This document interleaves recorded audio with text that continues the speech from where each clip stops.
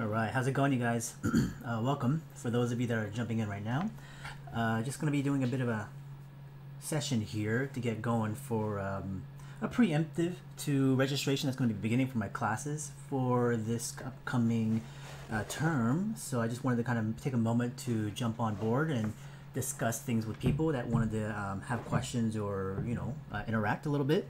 Um, I will be sketching a little bit in my sketchbook that pertains to my fantasy journal, but like I said, I'll be discussing a couple things about my classes and stuff like that for registration. Um, in the meantime, I've already been kind of thinking about what I'm going to be sketching here, and uh, it is going to pertain to, like I said, the biology journal that I've been kind of building up to this point, and uh, I have a collection of fossilized fish that I wanted to bring for inspiration. So I'm going to be using this a little bit here um, as a part of a jumping off point. So let me just grab the right pen that I can use here. And I might be, well, no, most likely we'll be bringing in some watercolor as well too. Okay, so uh, just to set this up, let me just talk about what I'm going to be using for materials. So later on, when people want to um, watch the recording on Twitch, they can uh, get a sense of you know what's going on in the beginning. I won't repeat this all the time, but I'll just kind of bring it up when people ask questions. Though uh, I'm going to be drawing with the Pigma FB as always. I do also have my uh, Euchers felt tip pen. I also have a um, unnamed Kuretake uh, kind of felt tip pen as well too, refillable. And I do have my water brushes for the uh, watercolors coming up later on. Uh, in terms of how long I'm going to be on, probably about two hours, hour and a half, two hours or so. Um, I'm going to possibly go back to a previous page uh, that I've already started a couple of pieces at like fruits and stuff like this uh, at the characters kind of gathering, but also just to kind of uh, I guess bring everybody onto the same page as to what we're doing right now. Uh, this journal that I'm starting up at the moment started off with the character uh, which I named Larut An. So that's the character, and uh, he's kind of keeping this journal where he travels throughout this island that he discovers, this unmanned or uncharted island, and he's going around collecting biological samples and recording data basically. So a lot of it is biological in terms of animals, flora, and fauna. Uh, and right now at the moment he's traveled through this island and I've gotten him into the eastern location at this point. So the last entry with color was actually the predatorial piece, um, which he discovered on the eastern side of the location. So instead of keeping uh, and staying in the location, he decided to move forward back up north but I'm probably gonna have him stop by this kind of like cove-like area right there, kind of a water section, because I wanted to do an entry pertaining to fish, so which I haven't done just yet. I think a lot of the stuff I discovered have been things like insects and you know flora and reptiles and you know some mammalian animals as well too. But I haven't really gone into fish just yet, which I really want, like to do. So um, what I'm probably going to go for here is uh, jumping onto this side Actually, you know what? I gotta just check out one thing real quickly. I just have to make sure that I'm streaming on Twitch. Because if I'm not just yet, then uh, it'll be a bit of a problem. So give me one second, you guys. As I double check. okay, good. I'm on. Great. So, uh, let's see what I'm going to do here real quickly is uh, just update people again is that I'm going to be going into the section of the waters. I'm going to basically have the character go fishing and he's going to basically pull up you know many different assortments of animals that I will then document and I'll be doing essentially kind of like studies almost like I use this as mainly for inspiration. Uh, you know this is like fossilized fish and something I purchased uh, a couple of years ago at a uh, shop. And um, you know some of these fish are millions of years old and they're locked in this kind of like uh, slate so you start to see some really great details here in terms of like some of the old fossilized fish and the bone structure and the shape language and the silhouettes and you know proportioning and the size and scale of the animals as well too compared to like my hand and you know just general information about them and of course modern day animals of fish as well too that I can pull from just based on the assortment of visual memory that I have over the many years of drawing. So uh, I'll be using this as a side kind of piece and uh, again like I said I'll be using my memory uh, to generate uh, designs of different kinds of animals like fish that I can. The last entry that I also created on my own time was uh, basically just collections of fruits. So I just like one weird like chameleon type of type of animal like collecting fruits and stuff like this. I was inspired by fruits that I had in my own backyard, so I decided to kind of like put together a few um, samples. But I'm to color these later on. But we'll go into a new page here, and we just start sketching and drawing. Uh, going into fish-like creatures. So before I even do so, what I want to do actually is re recreate the map over here in terms of where he's at the new location because in the last couple of pages I haven't really gone back into the map to show people where he is. Then I'm also going to design an actual fishing rod, a compact fishing rod over here. Then I'm going to actually do assortments of fish down here. So generally, uh, when I'm doing stuff like this, I'm already thinking about like a location of like where things are going to go in terms of drawing. And then once I've made some decisions uh, as to like what I'm going to draw, then I'm going to go into um, the different parts of like you know the details of these things. Thanks for the uh, comment, Jay. Yeah, the move is still happening at the moment. I moved to a new location uh, in terms of like a living space, so it's been quite the ordeal because I had so much stuff collected over the years. So processing all that and getting into the boxes and moving it on my own has been quite the. Um, I'm sure everybody understands moving can suck. Anyways, I wanted to bring this map up just to like remind me as to like where I was. So I'll be kind of flipping back and forth on this one. So again, he was located down here at the moment, and he's going to be traveling up into this area right in there. So I just want to recreate the map just ever so simply. Right down in this section. A little bit more zoomed in. And I'll probably create a frame around this just so I can make it feel more secure onto the page.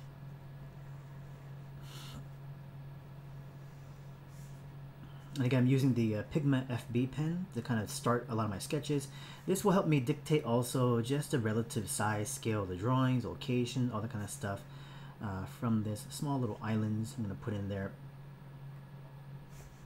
And because we're zoomed in, I'm going to start to even reveal, you know, more finer details of things where this is just more of a generalization. Um, so we had things like vegetation, forest area over here. Uh, he had started in this location, moving up into this spot.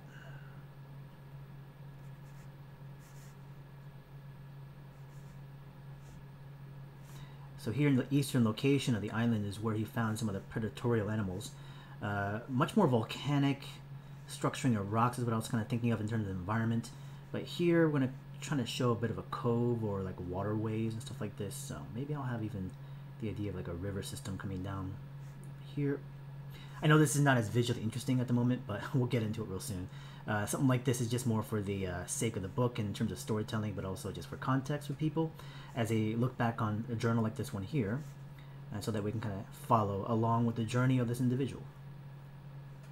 I will be taking a qu couple questions here and there on Twitch, so for those of you that are uh, watching me on Instagram, if you ha haven't looked at my stories, you will want to jump on my Twitch stream to ask questions because my um, phone is over to my left over here, so I can't necessarily peek over all the time. Um, I'm trying to relegate all questions into one location, which is going to be on my Twitch stream. So jump on there under Peter Han Style. Uh, you'll be able to find it free just to watch, and then you guys can ask questions there. So it's not like I'm trying to avoid you guys on Instagram right now. It's just that um, I'm trying to allocate my focus into one area. Okay, so that should be good. Uh, this is going to be the island location. What I'm going to do now at this point, I'll put down notes in terms of writing a couple spots here and there. What I want to do now is like design out the actual uh, fishing rod. And I had an idea, a concept in my head about the fishing rod itself. I didn't want him carrying around like a giant pole and stuff like this. I want him to carry around like a compact, like collapsible, mod like a modular version of one. Uh, and there are like collapsible and like very compact fishing rods that are out there for sale in reality, but I want to design one as well too. And then in my head, for some reason, I imagined a scorpion's tail, and how a scorpion's tail can like curve inwardly, uh, kind of like a fern as well too. A fern's a good idea, and how a, a fishing rod can unravel like a whip almost. And um, so I kind of want to start with the actual rod handle. Now this is not really designing per se because I'm not going through the process of you know, uh, fine tuning or whittling it down to the best iteration. So I wouldn't call this a design process. Uh, this is more of a, a, an idea that I've had, and from that idea, I'm generating my first initial kind of thought. So I wouldn't consider it like the best iteration based on this idea. I'm thinking of the handle, and I want to kind of imagine as if this is the gear system in here the actual reel will be on the other side. I'm going to do the collapsed iteration first.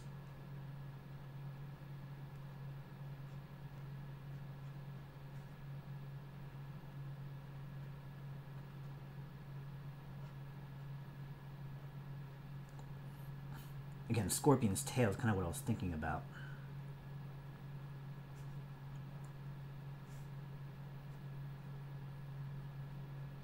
Put a bit of a texture on the handle.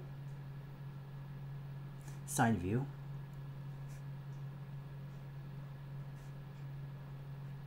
For a fishing rod.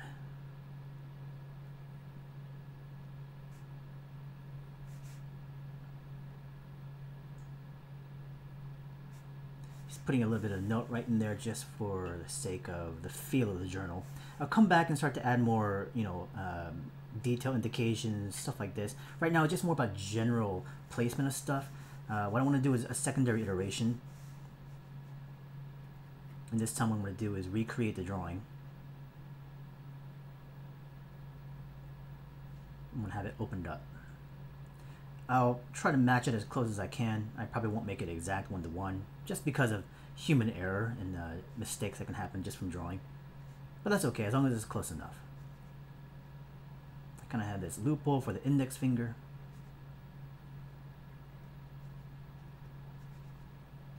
This curved handle. And I'm imagining the pole now revealed open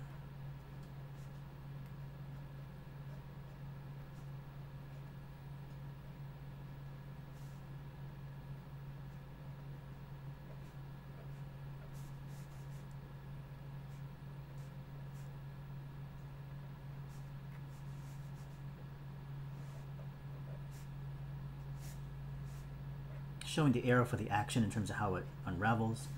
Then the string would be pulled out from the gear system.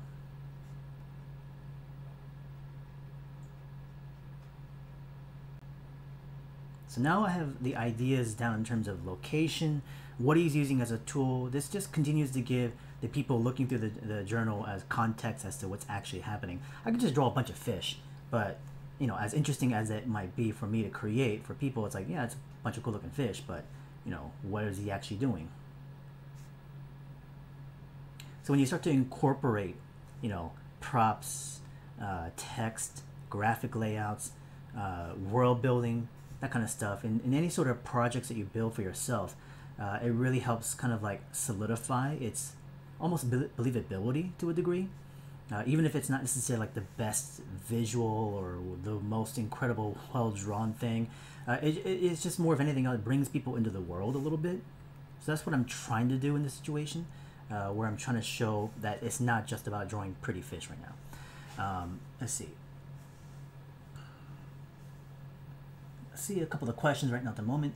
Uh, Justice Hick is asking, been a while, yeah.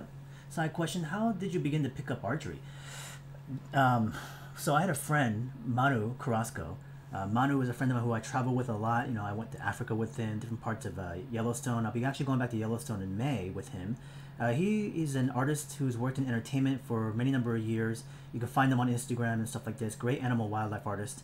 Uh, he works over at Cool Clothing, so we just got to know each other from from Comic Con in San Diego. Uh, we became good friends and, and travel buddies. Uh, and he's really into you know the outdoors and stuff like this. And we would talk a lot about other things, and archery is just one of them. I've always had an interest in archery in general. Uh, so I kind of wanted to start it up because of the whole quarantine, not really going anywhere. So I had a relatively large enough backyard where I could set up something. And then I also wanted to play with a lot more of the, the Asian bows. Because, you know, I'm very familiar to the whole Mediterranean style of shooting, all that kind of stuff. But the Asian style of like horseback shooting was really new to me. I didn't really understand it. So, like anything, when there's curiosity, I kind of want to dive deeper into it. So now I'm shooting almost, you know, every other day in my backyard uh, using you know Mongolian style bows and Korean style bows. Uh, we're using a thumb draw, so it's a lot of fun. It's just more recreational than anything else. Nothing as you know serious or anything like that. Let's see. Uh, what notebook am I using? This is a book that I found in, um, not in Austria. There was a book sketchbook that I bought in Austria, but it's from the same company. You shouldn't see that one. Check. uh, this is a company called Kunst and Papier, and they're based, I believe, in Austria. No, it might be in Denmark. Um, but anyways, this is the company, the brand, Kunst and Papier. And uh, I've had several of their sketchbooks over the many number of years, and I actually like their books quite a bit. Uh, this is a perfectly bound book, nicely stitched. It's got the case bound on it. And um, the paper itself is relatively thin, but it handles watercolor well, even though it buckles a little bit as I do it. Once it dries out, I lay it flat. Eventually, it starts to kind of flatten out itself. So I actually, I'm actually quite fond of their brand. Question is, uh, am I also working on book two of The Blacksmith? I will be actually, very soon, hopefully by this year. Uh, Dynamic Bible Volume Two will come out by the end of this year. Uh, Blacksmith Volume Two will hopefully be out by next year, so I'll be spending this year potentially working on it. I'd like to be able to start sometime in, in the summer. JD is asking for self-studying art. Do you have any tips on working, uh, studying for longer while staying energized and motivated? uh, I tend to lose momentum and get distracted no matter how hard I try to stay on task? It's a good question. Um, it, it's a difficult one for many young people who are just beginning to develop their skill sets. Uh, because you know in, in, your mind the idea of time investment is a huge aspect of building the skill of artistry you know drawing painting digital whatever the case may be and it seems that you know that seems to be the case where many artists as they explain their history and their past that seems to be common that we would spend a large amount of our time from youth to adult stage, from schools and colleges, just an exorbitant amount of time, just day in day out working. Um, but not only that, but you know, even on our own time, as we like, even for myself, this isn't necessarily work. You know, this is me doing it for fun. You know, I enjoy putting these pages together. Am I eventually going to turn it into something that could be a product and something that can you know put together as an actual thing to sell? I mean, yeah, that's always a potential, but it's not necessarily the ultimate goal. Uh, if something starts off really well and there's interest, then of course I carry it to that direction. But in the beginning of it, it doesn't really have that intention to begin with. Um, then, of course, you know, as I have the idea and the concept, you know, how do I maintain this motivation to stick with it? You know, I started this book, what, sometime at the end of last year or middle of last year. And, you know, it's so far how many pages I've gotten into it, about half of the book at the moment so, and you know consistently producing pages for this world and journal you know how do i also stay motivated to stick with one thing right don't i get bored by it or is it possible to um, you know, even in a single sitting right it's like as i'm doing this for hours on end how, how would you be able to maintain that energy to draw um, of course you know one of the, the straightforward answers is the discipline built up through training right? Time and patience, as most artists will tell you, practice. So the more you do it, the more familiar you get used to the scheduling, the time investment, the amount of mental practice, and also the physical demands behind it. Drawing can be physically demanding in actuality. It can be, if anything, even physically dangerous. Uh, this kind of adds to the question from Arthur over here. Uh, do you have any tips on dealing with hand pain? Sometimes I have to take days off because I'm worried about injuring myself.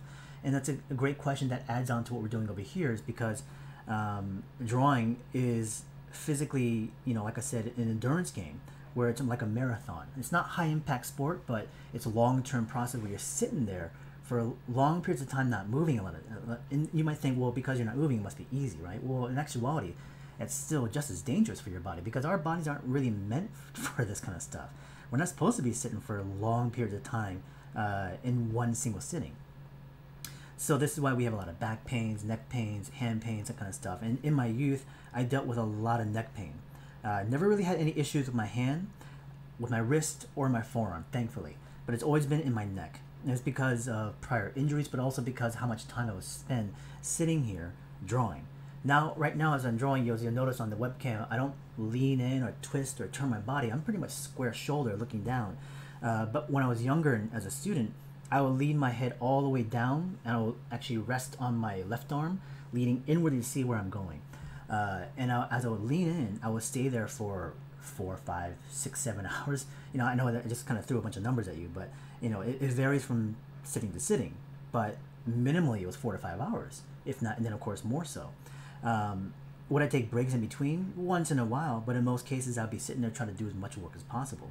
So over time, I built up a lot of strain in my neck, uh, a lot of muscle pain, uh, pinches, you know, uh, what do they call those? Uh, pinches, right? And nerves and stuff like this. So I used to have a lot of horrible neck pain when I was in my 20s at Art Center. Um, to overcome it, I just started working out more after school. You know, so uh, after I graduated, I had more time to be able to take care of my body. But during the time when I was in school, I didn't have time to go to the gym, so I would just I paid for it. Horrible pain, waking up, not being on the move, going to the hospital sometimes, getting Demerol shots, muscle relaxants, because I wouldn't be able to actually physically get up. It would be so painful. It would lock up a couple seconds, re- release, and lock up again. It would do that for the entire day. Um, so dangerous I would literally have a crooked head like this coming out of Art Center because I couldn't straighten it out. Uh, it was there was so much more strain on this side of the neck. Um, to this day, I sometimes still have a slight. It's easy for me to pull the muscles on this side over here, um, but thankfully, I don't have as much issues anymore today than than I did years ago. But still, you know, that's a huge aspect to it. That you have to be mindful of how much time you're spending even doing this kind of stuff. But going back to the idea of motivation, I think for me, I mean, for this situation of the project is because I'm actually highly interested in the subject matter in the topics and the themes and the materials. Uh, of course, the very act of drawing is something I really enjoy as well too. So it's something I could do for a long period of time. But of course, I will be mindful and stretch it out for maybe two, three hours at most these days. And I always take a break. And if I'm going to draw more, I will definitely come back to it. But I wouldn't necessarily push super heavy into like you know six seven hour periods into one sitting. Uh, I just wouldn't do that anymore. Um, I wouldn't even recommend it to students these days. So students that I have in my classes, I always tell them two three hour stretches, take a break, step away, do something else, stretch at the very least, come back into it, work again. You know, you can do six, seven hours in a day, but put a lot of like half an hour breaks in between of two, three hour stretches essentially. But in terms of motivation, you have to find again that interest peak in of, in terms of what you're working on. Now, homework, if you're given it in a project, it's not as interesting sometimes. Like this is my project, so I'm doing it because I've decided to, you know, develop this on my own. But if I'm given a task, let's say like a project in a classroom, in the beginning I can be enthusiastic, but eventually it can kind of, you know, overstay its welcome. Uh, so I kind of lose my interest and I don't necessarily push as much, don't spend much time. But this is where you have to find some way of making that thing as just as interesting, you know, as anything else you've been developing. Um, how you do that? Well, it takes time to find out what aspect of it that you really want to kind of commit yourself to, and it could be not necessarily, let's say, theme, thematic, or subject. It could be the material. You know, just really interested in drawing in pencil or pen or ballpoint or whatever the case is. So you want to explore that to the nth degree. Uh, it could be the um, the technique of something, how you build stuff through structure of drawing, whether figure or animals and vehicles or environments and taking a class, you, you start to understand how those things are approached. So because you're interested in how you actually do those techniques, you spend a lot of time in those areas. You don't really care about the subject, you don't really care about the material, but you're interested in about the thought process. So there's something always there that can potentially focus you in, in how you can maintain that energy and focus. Then it's just daily routine. It's got to be normalized, you know, to the point where it doesn't feel energy sapping.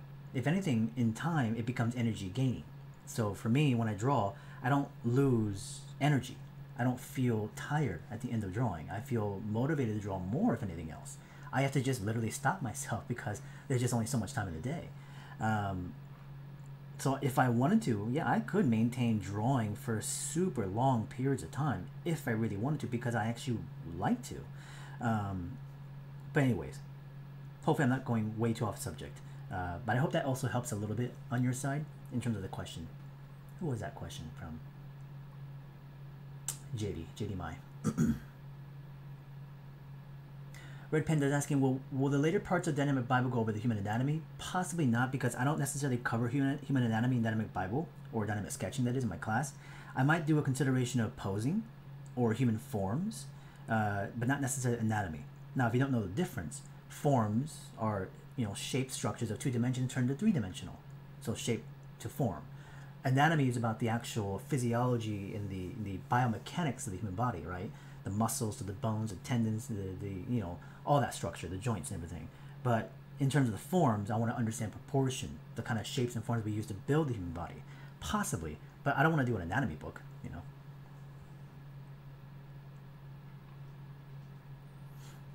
Just looking through some of the questions and then drawing other kinds of small little animals that this person, uh, later on, who's traveling, has gone to this cove and pool area. He's pulling up some kind of crazy animals.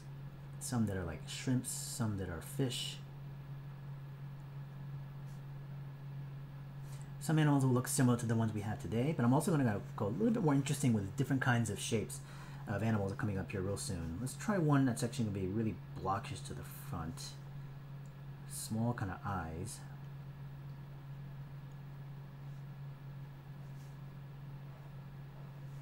Peeking down into small fins.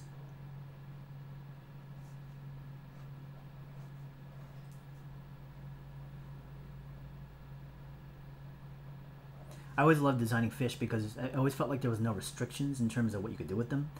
In nature, they've already been pushed so much in terms of variety, of proportioning, and shapes. Um, they almost seem, you know, it almost seems infinite in terms of how much you can actually play with them. That's what I loved about marine life and also entomology life. this is something I used to do at, at Art Center as a kid, or not as a kid, but in my 20s um, when I was a student, I would always love to just draw and, and come up with different kinds of fish and animals based on animals that we exist in you know our own world, but you know coming up with different ways of combining you know parts and pieces to them or pushing proportion and shape.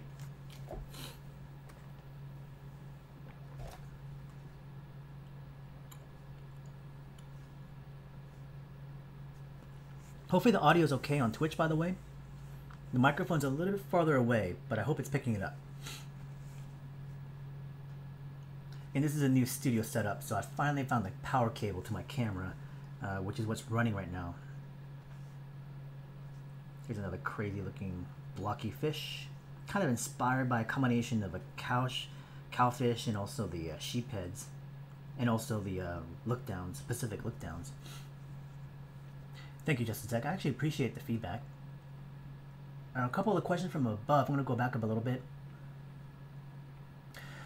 Zach was asking, if you don't mind me asking, I feel like I know how to draw certain things, such as a, such as the figure, but when I try to put it down on paper, it doesn't even come out close to how I was imagining.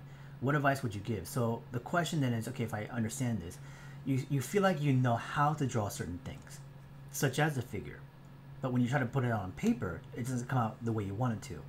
So that comment and question kind of conflict a little bit, because if you're saying you you feel like you know how to draw these things, I guess the, the idea then is that you understand the, the method and the technique of how to draw them. But I guess what your answer is or question is about more of motor skill, muscle memory, or possibly even the, uh, the control, logistic wise, to the tool set onto the paper to be able to express the thought or the visual you have in your mind, whether it's the figure or something else. Um, when it comes to this translation, the bridging of those two things, which is you're not necessarily, let's say, I mean, also uh, taking this question as you're not looking at something like a reference photograph or an observational thing of a person. You're kind of imagining it, and that's what you kind of said right now, which is you know on how it doesn't come out close on how you were imagining. So in that situation, um, this bridging of the two things of what you see in your or what you relatively have an idea of in your head to what you want to express down onto the page using whatever tool or format you're using that's a very hard leap of course you can imagine right and i think i'm sure all people here it's obvious. Uh, something you can kind of ideal wise have have something on your head. It's not always going to come close to what you have on the page. Even to this day, for me, I can have an idea of something of let's say even like a fish. I can even picture one right now in my head in terms of like its exact visual look. And as I draw it, would I be able to transfer over the exact image in my head down to the page? And I will tell you the truth is that it, it won't. It won't come close um, it'll be in the same vicinity within its you know visual look, but it will not necessarily be the same exact thing. Uh, and it's because as I'm drawing, in my head, that image is not necessarily static. It's not rock solid. It's always fluctuating as a visual. Like for instance, like the eye to the mouth to the fins. Like I have an idea of like what I generally want to do with it, but those things are constantly morphing, like scale, position, you know, shape, uh, even though I have an idea in my head, it's not a it's not a static uh, image that's always going to stay there for long periods of time. I might have one for a second or two or even longer, but eventually your brain will start to morph things because you start to generate new ideas or your memory starts to kick up a little bit. And because of this subconscious feeding of information, that visual in your head starts to also then fluctuate. The problem is you may have had the memory of what that idea was. And again, I might be completely off as to like what you're talking about. But either way, this is something that kind of goes into the idea of drawing from the imagination for me. Is that because I'm being influenced by all this visual library, and it's always morphing. Uh, when I put it onto the page, I'm always adapting to it. I'm always moving things around. So as I do so, I'm freely making decisions as to what I want from the sketch. And then there is a sense of relaxation because now I also feel that I'm not locked in to what I had as a memory of what I wanted as a visual from the initial idea. Then it's always about how do I continue to adapt to what my brain is trying to feed me, right? Now, if I really wanted something one to one, and it was something as an idea that I really wanted to have, then maybe I would do several thumbnails uh, trying to get closer and closer and closer to exactly what I had in my head before. So what I'm trying to do right now is, is hone it into the truth of what it was as an idea, right? But through a single drawing, you know, of course for myself right now with these fish, it's always going to be moving around. So let's do another one over here. But um, in terms of any other advice, I mean, a lot of it, of course, will be daily practice, and so that way your your eye, brain to eye down to hand, that connection and that relationship between them, the harmony between the movement and the thinking and the seeing will come into play. Balance, right? Right now you have an idea, but your hand's not moving the way it wants to. Or you have an idea, but you can't seem to lock in on some of the exact details of certain things because you lack the visual information. So this where you know then goes into more practice and goes into more study, um, and patience. You know, tons of patience. But these are, I'm sure, things that you are already familiar to in terms of what you need to be doing, right? Seems obvious. Going back to Arthur's question about hand pain, by the way, um, do I do anything to restrict that? Uh, taking a lot of breaks, as I said, you know, after two, three hours of drawing, definitely a lot of breaks in between. Uh, doing any sort of like hand, you know, stretching or exercise even minimally, can be extremely helpful. So I would recommend that. And you know, you can look it up on even like YouTube and stuff like this that will give you recommendations about what you can do. And for me, I use a lot of different kinds of like hand exercise tools, like the uh, springs um, that have the power uh, grips. I use those. Um, I also use like a lot of mountain climber tools uh, for hand strength and forearm strength don't use them as much today as I used to. Um, I need to get back into it. I want some aggressive looking fish also.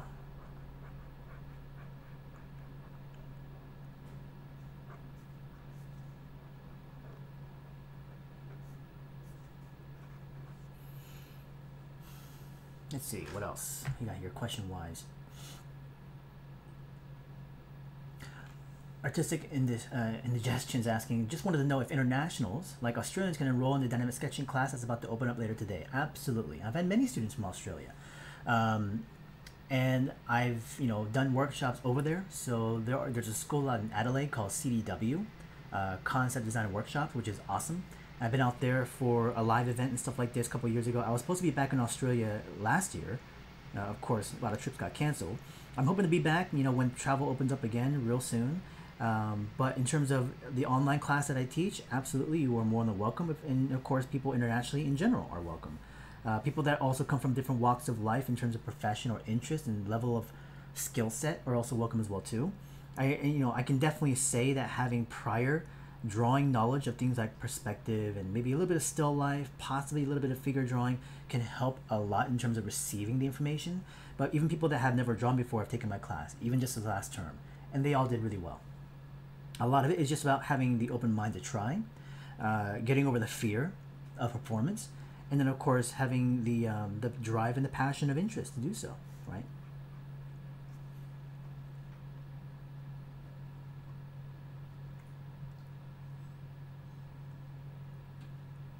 Just kind of scrolling through some comments right now. Uh, Butterfly is asking, would you recommend learning to draw from your shoulder? So right now at the moment, my sketchbook is about an A4 size. Okay, A4. Maybe a little bit bigger, but it feels like A4. At the moment when I sketch and draw, and this is this is just more of my recommendation, and I talk about this a lot in my classes.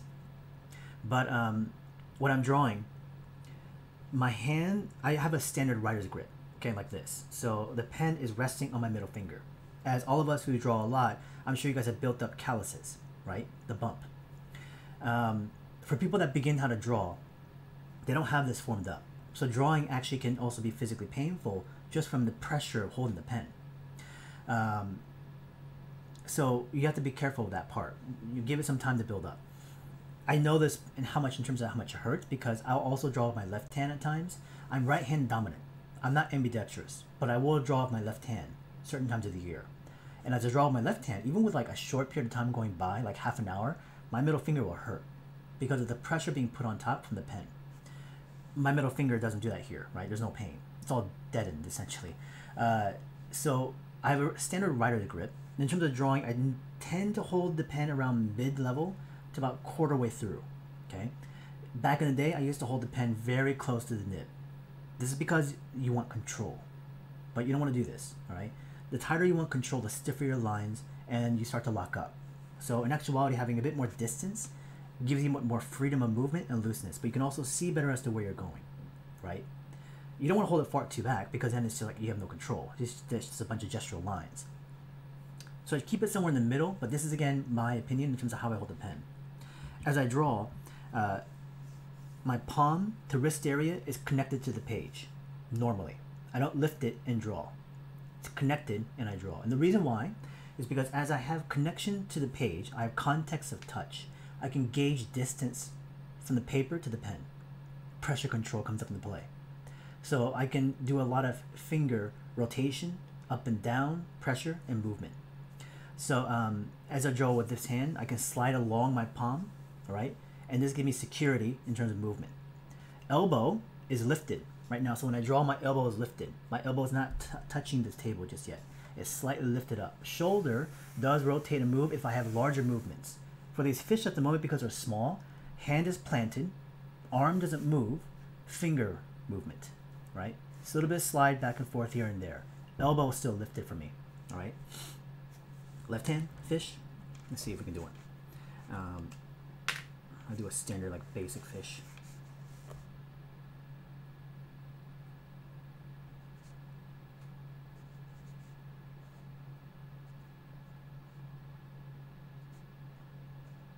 The thing about drawing with left hand for me is that it requires so much more concentration that it's really hard to talk while I'm doing this.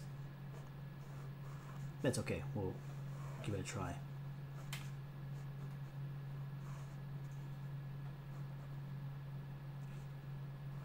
As you can see, the lines are much shakier. And I learned a lot of things about this one here in terms of drawing left-handed. And what that is, is that there's certain movements that I have restrictions to. I want to move a certain way, but I can't.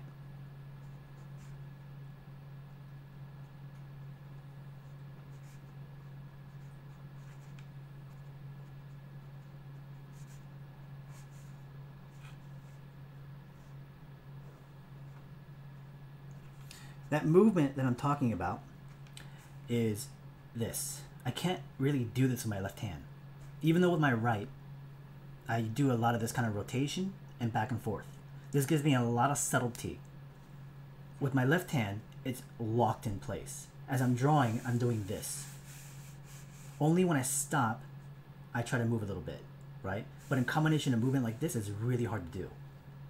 So here, as I'm going back into I have to stop and reposition and try to move, and it's really hard. And pain is building up here. hand shakes. But what's important is the idea of how I draw my fish is still there. Because um, how I structure them is all the same. So if I understand how to structure the fish and draw the shapes and the placement, proportion, or playing around. Once I train more with my left hand and I build this kind of sense of familiarity and movement, there's no reason why I can't draw my left hand just as good as my right, even though I'm not ambidextrous, even though I'm dominant right-handed.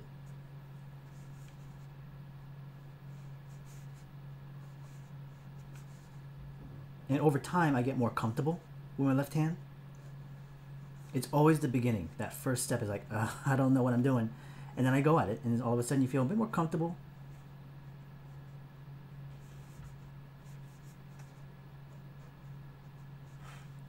It starts to come into play a little bit. It's not the best thing in the world, but to me, it's not about how well I can draw it, it's more about the moment of me doing it. It's fun, right? So I can come back with the right hand, clean things up a little bit. There's times when I'm drawing my left hand and my right is like this. I'm trying to come back and take the pen back. My right hand's like antsy. It's like, give it back to me, you know? Uh, and my left hand's like trying to figure things out. Uh, it's like the big brother, the small brother kind of thing. Uh, and so even though I'm not conscious to think of it, my right hand is like fidgeting to like take control Cause like this is not right. This is not supposed to be this way, and my right hand wants to do it, uh, but I'm trying to stay control of my left. It's kind of funny it happens like that, and just like uh, subconsciously, where my hand just moves like that. Then the right hand comes in. I can just freely move the way I want to. Anyway, these are fish. In terms of size and scale, I was thinking of them being small scale fish. Um, again, I have this like fossilized thing, so I, am thinking of the scale of the fish that he's pulling up to be actually small. So using a small rod like that, uh, this is like to scale, essentially, one to one scale.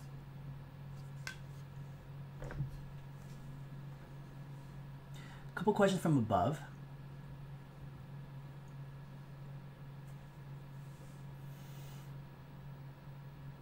Last Colonel was asking, what's a real good paper for ink and watercolor? I would say the Strathmore brand uh, watercolor paper. No, I'm sorry, not Strathmore. The Canson, Canson brand, C-A-N-S-O-N.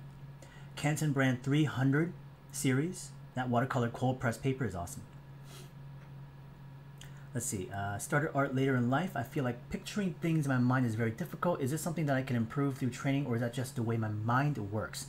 If I can improve uh, on it, are there any specific exercises you would recommend? Uh, you need to take you need to take classes on it. You can try to train through yourself by looking at more photographs and copying a photograph, but in that situation, by copying a photo, you can't retain the information as well. I'm not saying it's impossible, but it's it's a longer process, and the reason why is because you're looking at a photo a copy and you're just responding to it, and you're only responding to the surface details. You're not really understanding how to actually build the thing, and how that information can be carried over through other subjects similar or even different to it.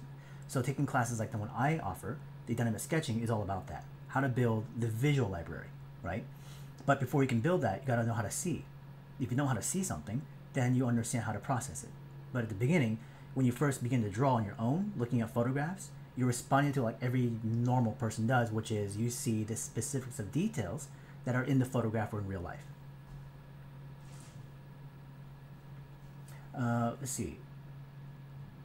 When you're at the part of the drawing where you're darkening lines, how do you decide where to darken?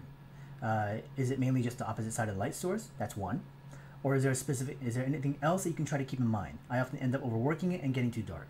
For me, that's one recommendation, which is where is the light source coming from? Then the opposite side, go darker. Think of it kind of like a shadow side. The other part is focus. Where do you concentrate focus and interest to a drawing? The other part is graphical. You can make it more of a stronger silhouette to stand out from the background. It can separate from overlaps as well too, right here.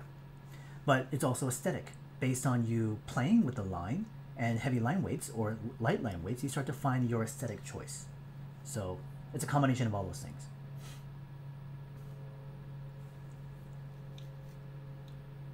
Hey Bowen, how's it going? Uh, took your dynamic sketching three times.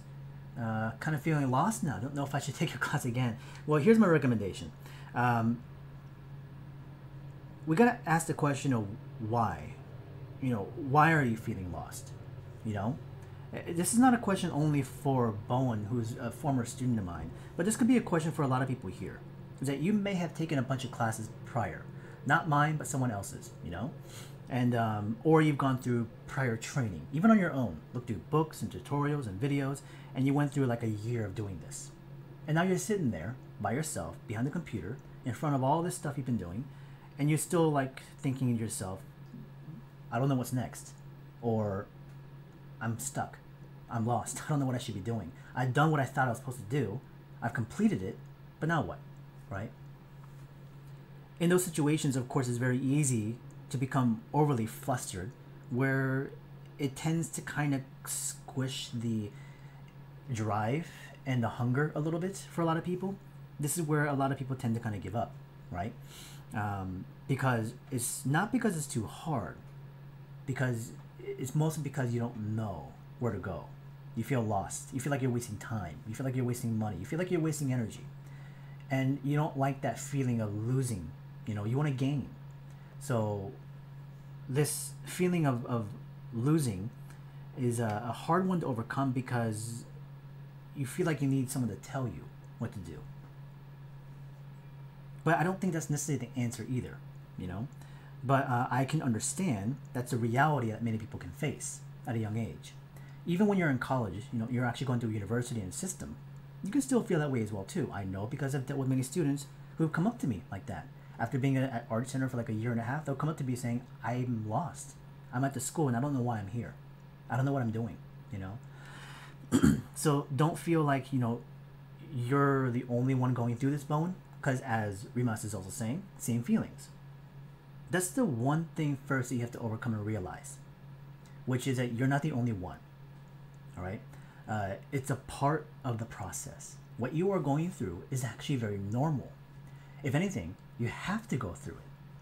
I don't think it's necessarily even realistic or even actually quote unquote normal not to have that. If you're going through systems of like school and classes like this and you're feeling completely okay with everything you're doing, if anything else, more than likely, you're just kind of following a track that's already been laid out in front of you and you're just kind of copying that pace, you know? Um, and because there's really no second guessing, no challenges, no nothing to really kind of burn your way through, it's not as um, like I said, weary of a path. But for someone who's learning on their own, let's say whether it's you're, you're at a college or not, especially for a lot of people right now who are not in systems of schools, they're kind of learning on their own, watching videos, tutorials, going to online classes. You're jumping from one thing to another one. It's very easy to spin yourself around. But at the same time, again, still, you're not the only one going through it, and it's very normal to feel that way. If anything, what you're supposed to be doing is actually, you know, like I said, spreading yourself out to experience as much as possible. Now, that might feel like you're being lost, but the idea is to touch upon many things to see where it is that you want to land yourself towards eventually. Like right now, if your thought is, I need to find the path, I need to know what I'm supposed to be doing. I need to understand all the type of classes I need to have. I need to know what kind of portfolio I need to build, what kind of work I need to get. I should know all this stuff right now. Maybe you're like a year and a half, two years in.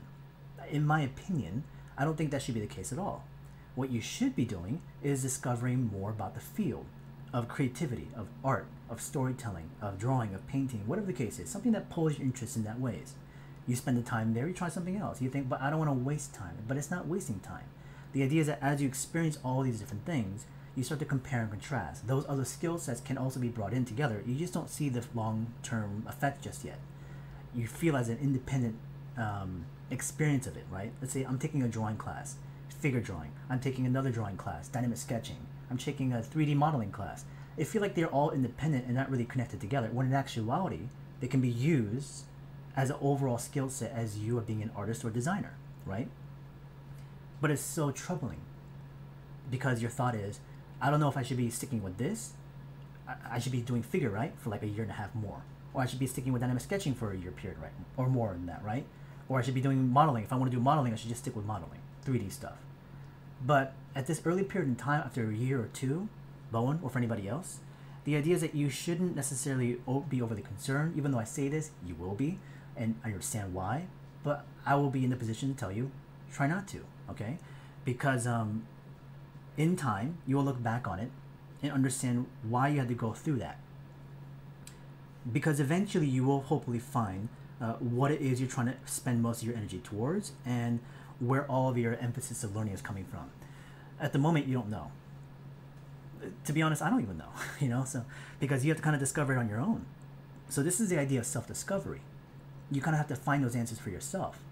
It's scary, it's risky, it feels like, you know, it's not going to happen, and there's no guarantee of it happening.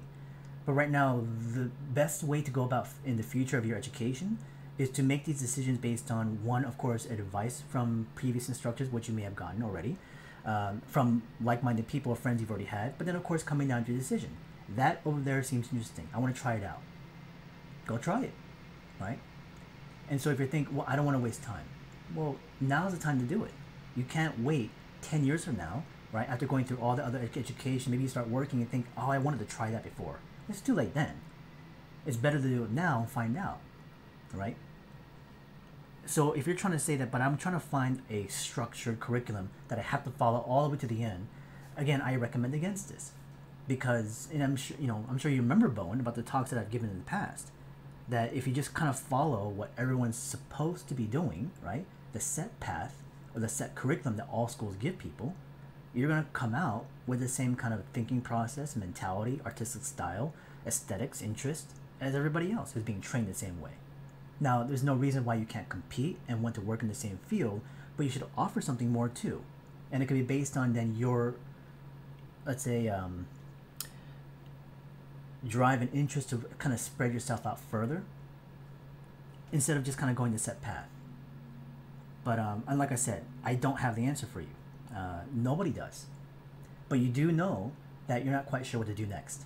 And that's a good thing because whatever step you take is the right choice in- the field of creativity. The wrong choice is not doing anything, okay? The right choice is doing something.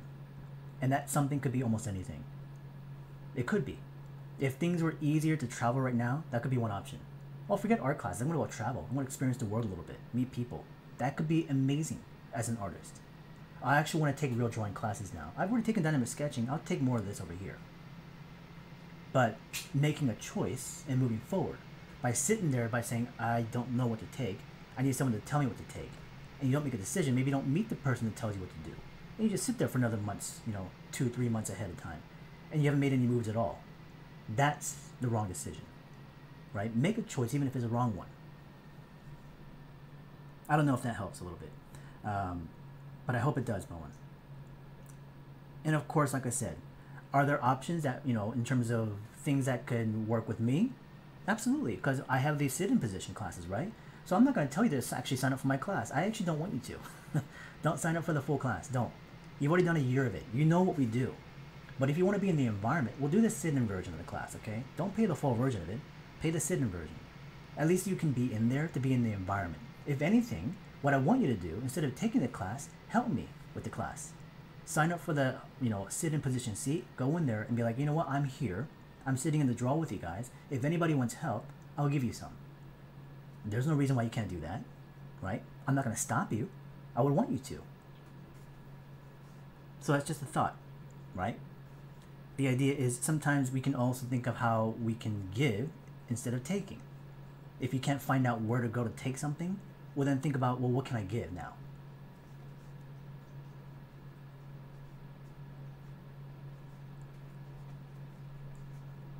Just something to chew on, all right? Uh, Bowen, think about that a little bit.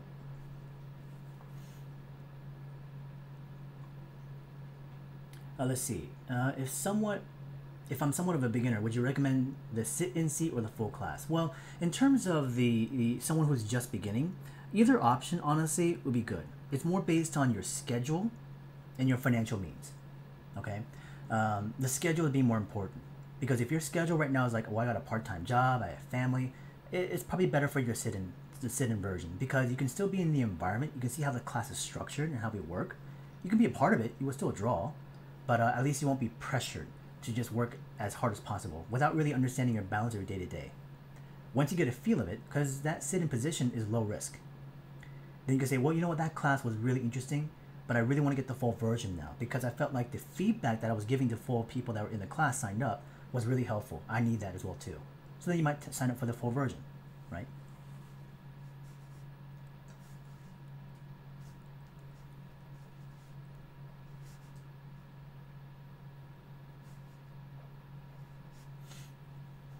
Okay, I'm gonna do a couple more fish over here. This is a left-hand fish. Uh, I'll call this guy Lefty.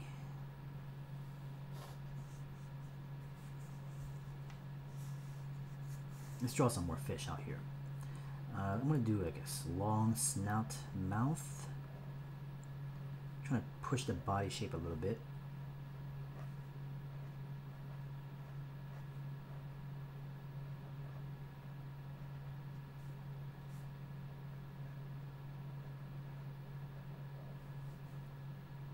Kind of small beady eyes.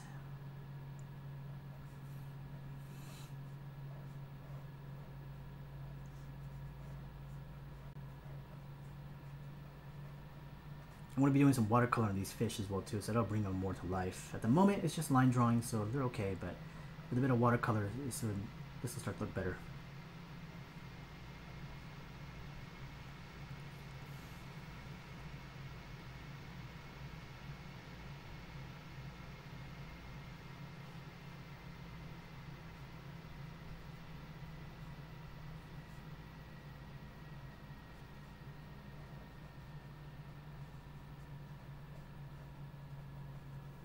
Just looking for shapes, interesting kind of visual details.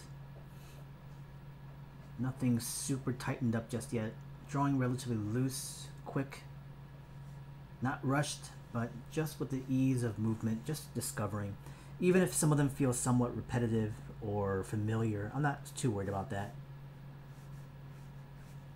If anything, I kind of welcome it to kind of get it out of my system. And I'm looking for those last couple ones that I can really start to push more.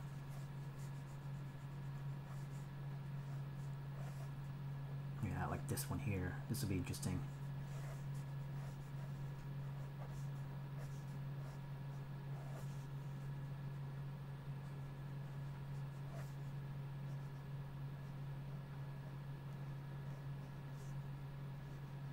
Crazy shape of the head.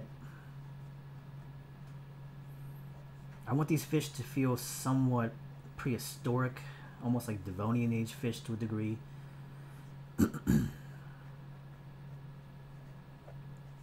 armored types, yet small. I want them to be small in scale. They're supposed to be like almost one to one. As he's catching these small little fish.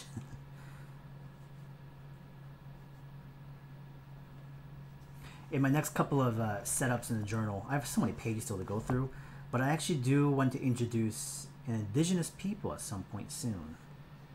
So it's a little bit of a thought process I've been trying to go through in terms of like what I want that to feel like.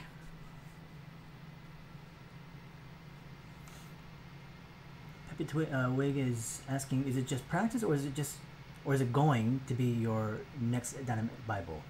This, this is just fun.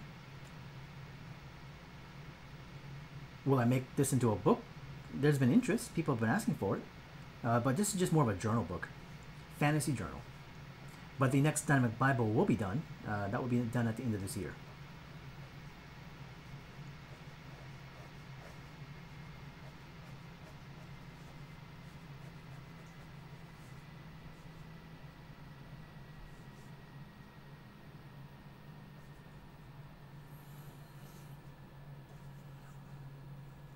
Instagram is still going. So you guys, again, like I said, people who are joining in, if you guys want to ask questions, you guys are welcome to jump into my Twitch stream uh, under Peter Han Style there. If you guys want to ask and interact, uh, I'm not answering questions at the moment on the actual live stream on Instagram because I'm just looking at one screen at the moment.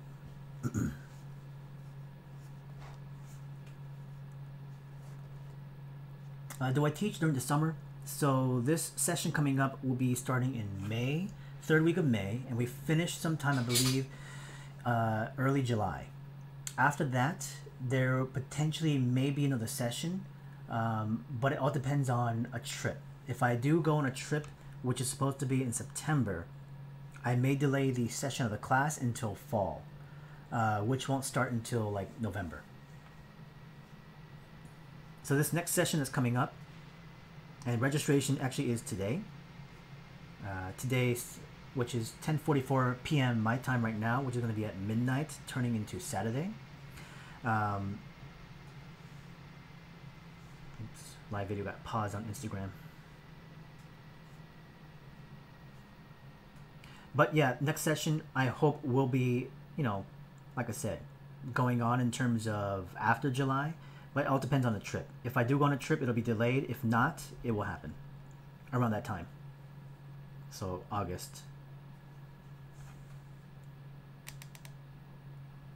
I don't know why Instagram delayed here for a second. Hopefully my connection's okay. Sometimes my internet drops out a little bit.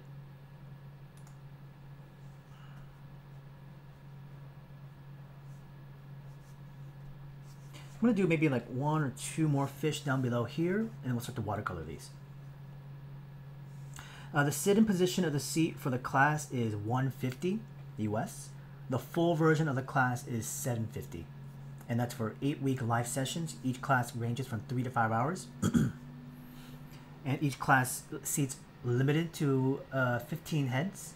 And with that, each and every person gets feedback with their homework. Um, the live sessions are recorded. They're put up on my YouTube channel and then shared so people can watch the recording again later on. And they're up there for a year for people to have access to.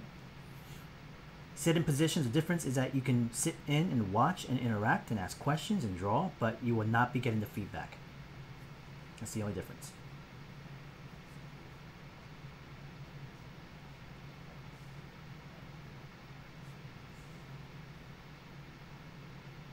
And the sit and seat is great for people who can't financially support the cost of the class. Um, that's one of the reasons why I brought it up, but also because it helps people who've taken the class in the past or for beginners to engage and get a sense of how the class is like, but also to stay in that environment of drawing. Uh, because drawing on your own, especially after doing a class like that, it's really hard to continue on, even though you might do it for a little bit, but then you fall off. I don't know why this Instagram is not connecting. Let me see if I can start it over.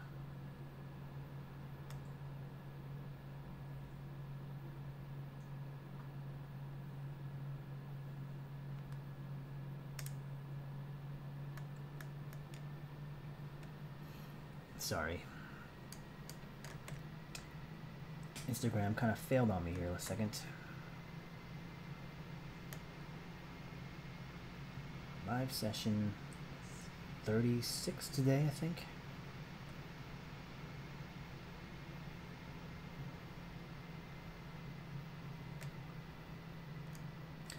Seems like Instagram crashed on me.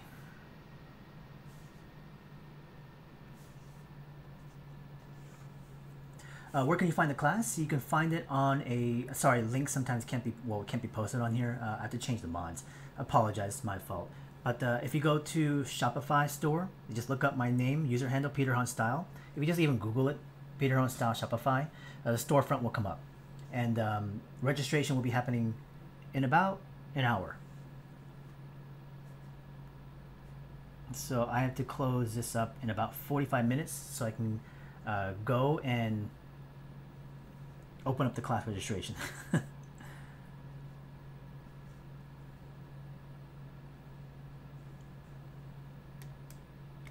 Ah, come on.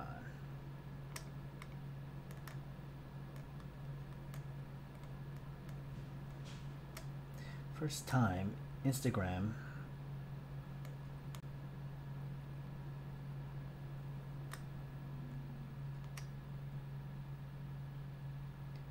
has not worked well.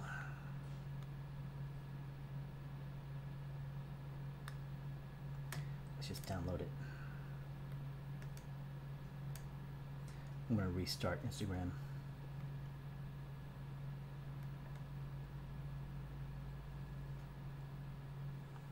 Okay. Uh, going back to the question, uh, what would you say is the most fun tool or combination of tools for you to create work with? Really like the content, appreciate the generous, appreciate that, Captain Patchy. But in terms of most fun combination of tools, for me primarily is just ink and watercolor. That's just me though. But I like all drawing tools. Ballpoint is something I use, you know, very heavily uh, when I was a student. Um, pencil I still really like drawing with. But when I choose those mediums, it's because my intention is from the very beginning to use those because of the advantages I get from them. But normally uh, I stick with just straight ink um, either felt tip pinks or things like uh, fountain pens. I tend to use a lot.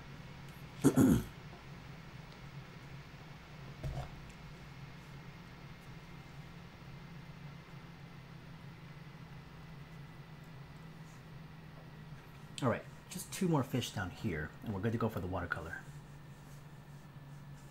Let's see, let's try one. Yeah high eye stock over there. Let's put one to the back side. Kind of like a parrotfish to a degree. with the big beaks.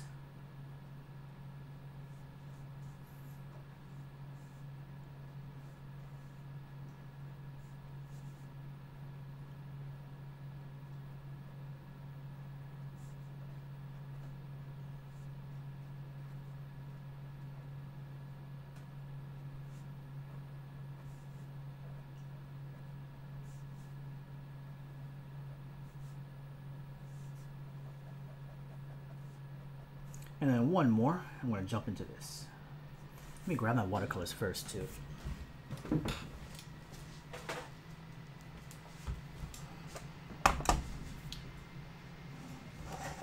What type of brushes uh, do I recommend in terms of watercolor or for inking?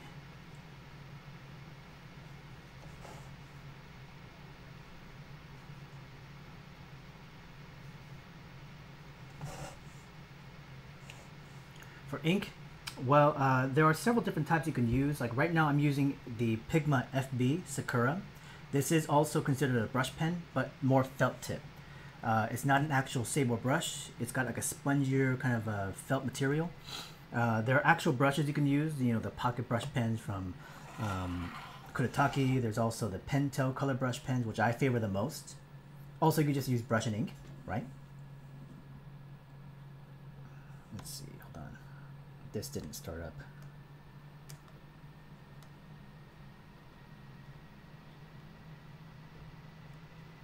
What? Is going on Instagram?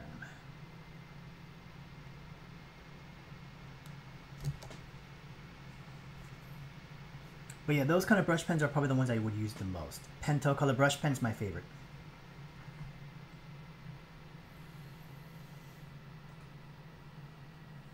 Who are some well-known artists that you can you rephrase that question that I went to art center with? Is that what the question was?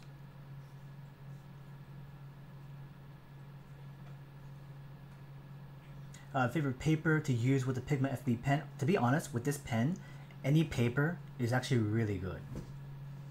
This is, you know, even like copy paper, honestly in this situation of the kind of pen I'm using, the paper doesn't really matter if you're only going to stick with the ink. If you're planning to go, let's say, like wet mediums of like marker or watercolor, then the paper matters, right? So I would be using like cold press paper watercolor, but in just in terms of using this pen, any paper is fine.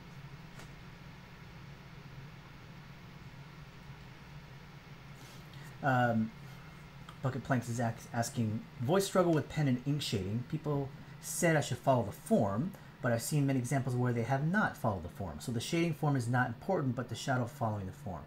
Um,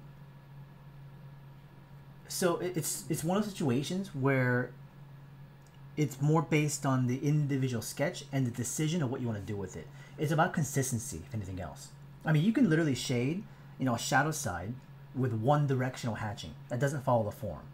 It ends up making it more graphical and two-dimensional, but at least you've chosen to do so. If you go with the form, it makes it feel more volumetric, right? Because you're making it feel more ballooned out. But another thing is that you can follow the surface of texture or grain, like hair or skin or even scales.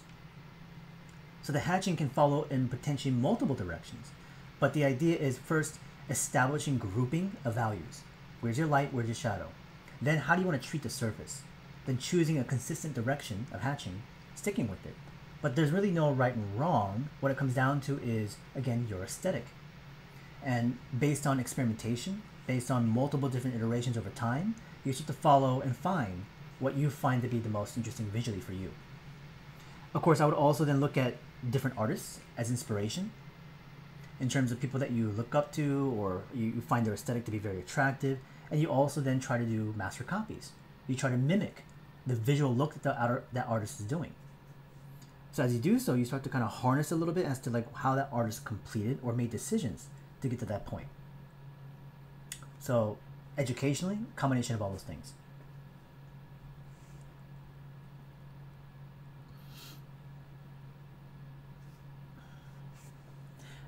Did you attend Art Center with any other well-known artists? Well, I mean, it depends on what you mean by well-known. If it's within our industry, yeah, for sure for the general audience, would they know these people? Most likely not, right? So for us in a group of this live stream right now, I mean, I'm, I'm assuming a majority of you may have heard some of the artists before. Uh, I mean, in my graduating class at Art Center, one of them was uh, my friend James, James Paick. James is, is one of the co-founders of Brainstorm School, but he's worked on numerous projects. You know, uh, he recently just did one for the Netflix special that Love, I think something robots, right? The animated thing. He has a short on there. Um, but in, in terms of if you're asking like famous people, I mean, I don't know. They're just friends to me. So uh, I guess another one would be like my friend Ryan, right? Ryan Meinerding, who's from the same art center time as me. I mean, he was in my dy- dynamic sketching class when I was a TA for it, teacher's aide. Uh, Ryan right now is the head of Marvel Cinematics in terms of visual development. You know, uh, he was art center, and you know I've known him since he was just a student coming in. He's probably one of the more, I guess, well known because Marvel being so big right now, in terms of movies and shows and that kind of stuff, and he runs such a big department. Him and you know, I mean, all the guys there I generally know uh, guys like Andy Park and you know even the groups that work within the team itself they're all art center people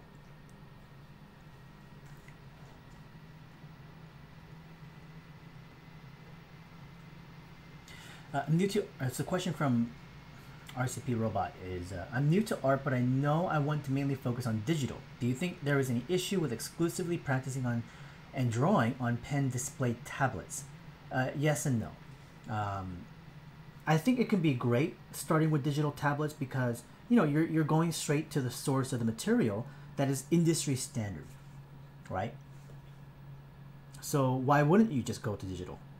Because how how many concept artists out there right now that work in animation or not animation but like live action film or games work on paper and pen? Very few. It doesn't mean it doesn't happen, but the majority work on digital. I myself you know, if I get freelance jobs and contract jobs working, let's say client work, I'm mostly going to go digital, right? So someone who's starting, would it be bad then to work on something digital to begin with? Uh, again, no, because the early introduction can be a good thing. But I think it's important to have balance, right? So what is the other aspect to it? What is the flip side? Well, yes, as well in terms of uh, not wanting to go that direction, mainly because um, well, it should, it should be more no, but um, mainly because when you start with digital tools, you also build very bad habits. Those bad habits can be I've seen many people complain about control Z, right? They want to undo something.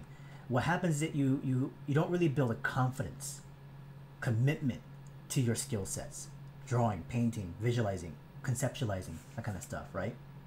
So you want to redo the thing over and over again you spend hours just to, cut, just to come up with a sketch, just to come up with an idea.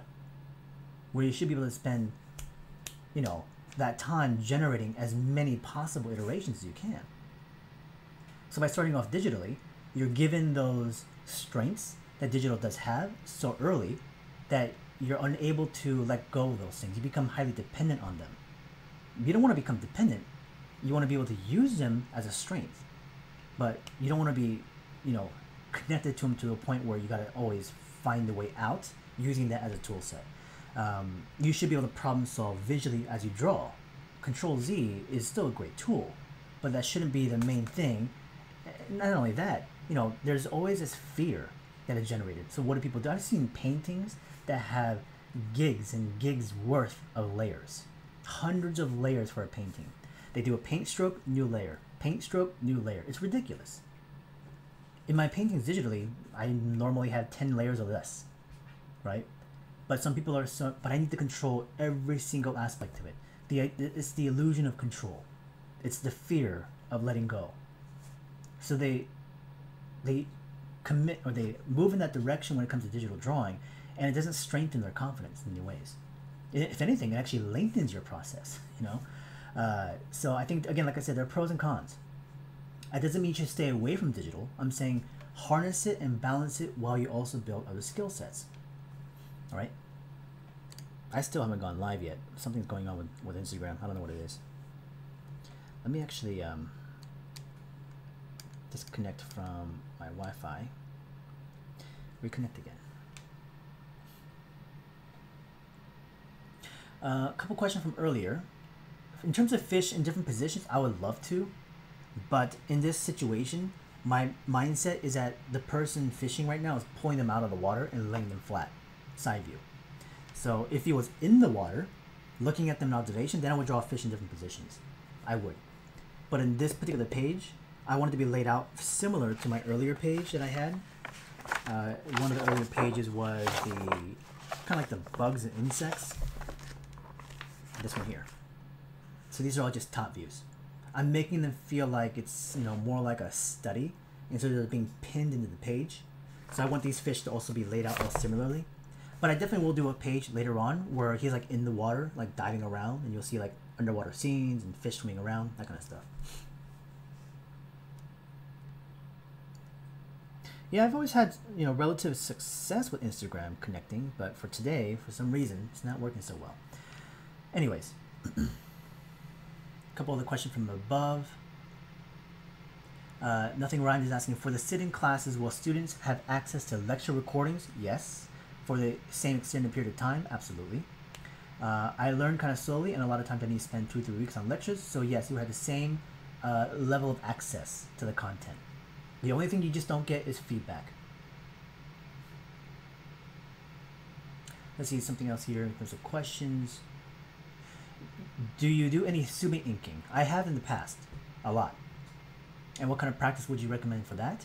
Uh, it's very similar to like how my drawing classes are set up. It's a lot of muscle memory movements, strokes, lines, rotations.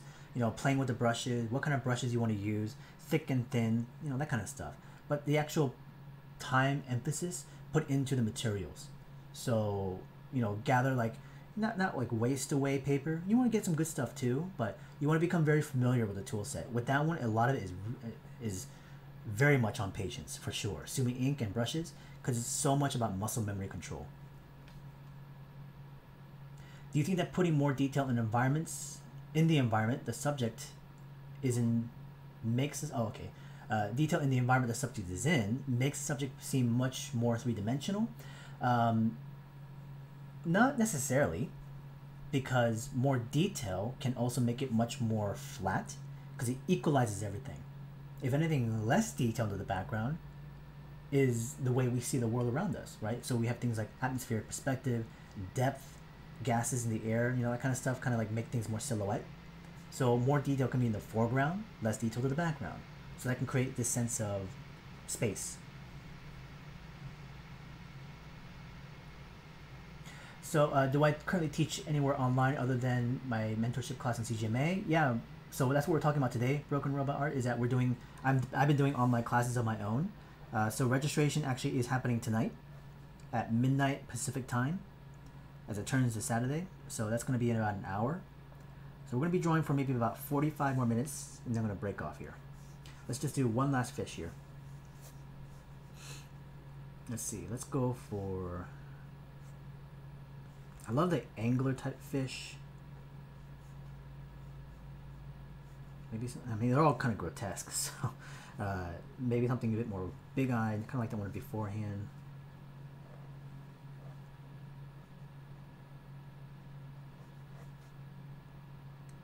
Kind of blunted mouth structure.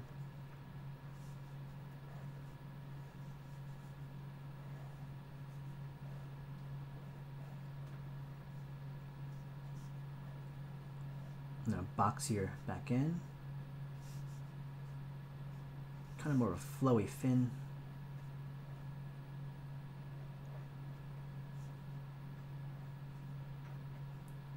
Looking for just a movement of shapes.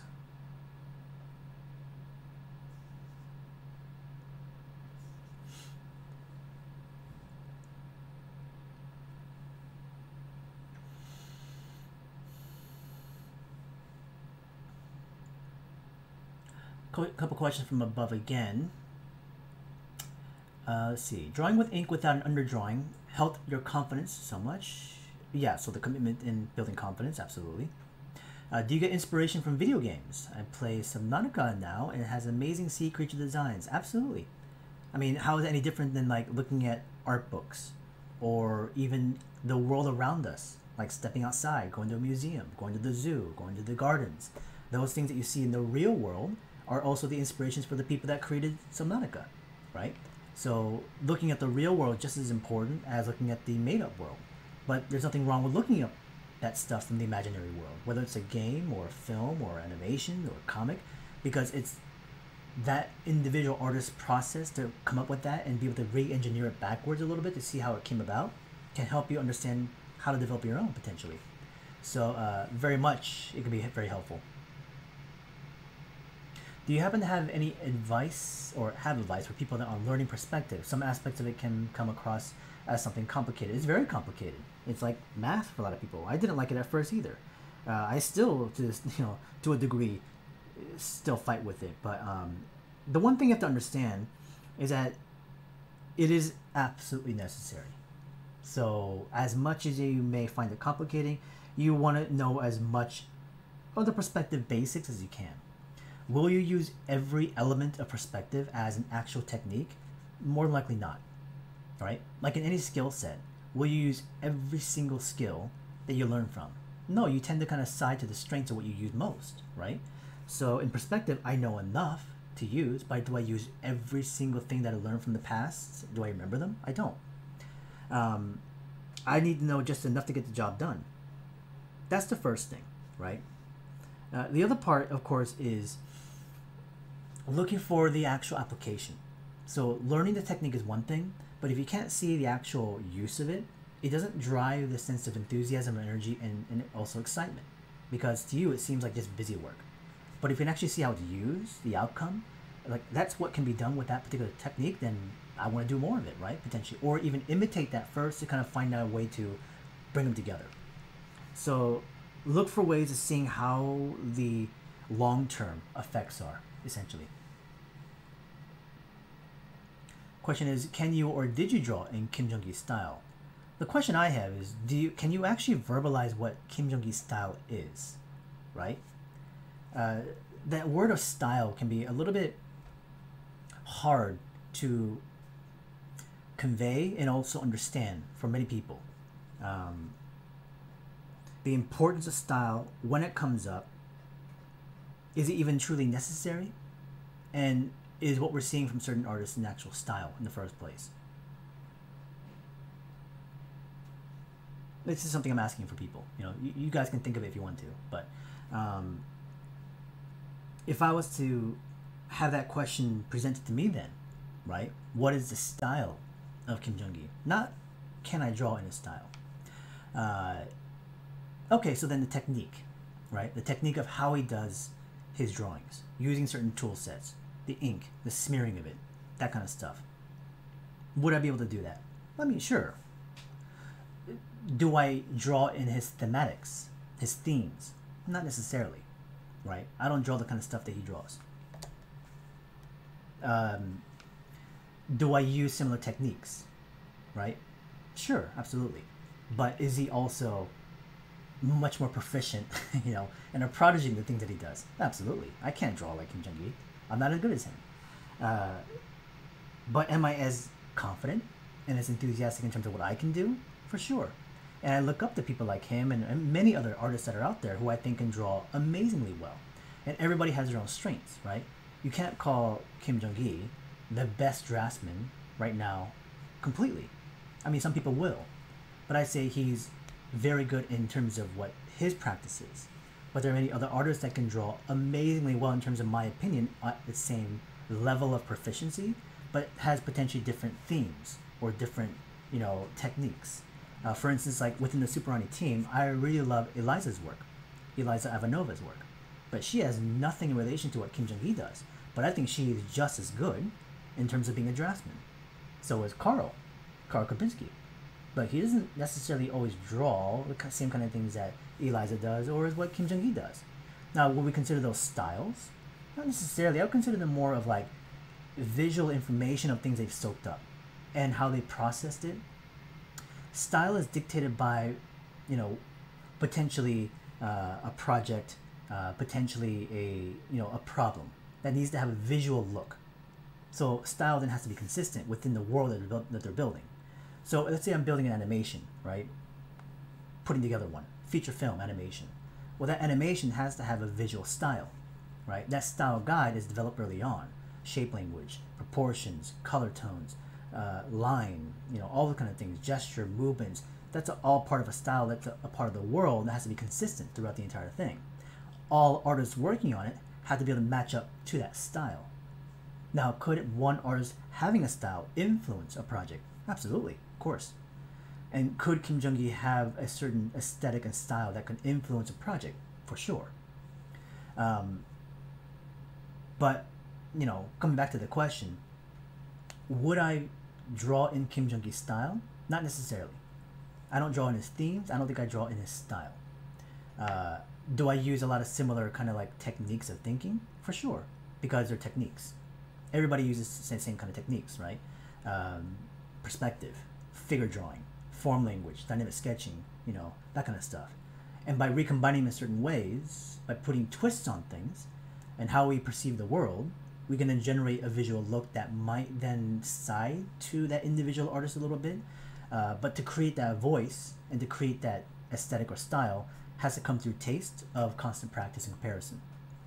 Um, but like I said, it's also based on then generating work for certain projects, even your own independent projects, and coming up with a visual style for that project that fits best. So then the question is, if you're younger, should I be worried about having a style?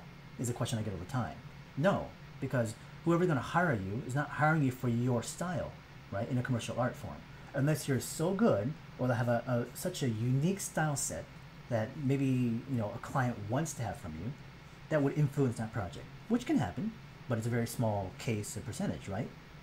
But in most situations, they're looking for young people to be able to work on a project production, but you got to match up to that project style that's been developed by the leads that are there at the company. So your work has to show skill sets that are adaptable, if anything else. You understand the basics, you understand adaptation, you understand process, problem solving, and also a lot of the fundamentals that we just talked about, right? Sorry, that ballooned into some something else. Apologies. Um,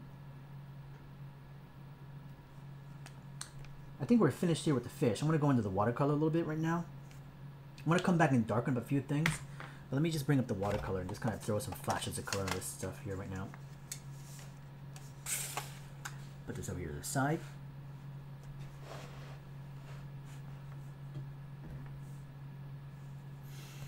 Let's see. A couple of questions from above. What do you think are the differences between taking classes online or yeah, online versus in person? Well, I think there are quite a big difference between them. Do I think both experiences are positive? Yeah, absolutely.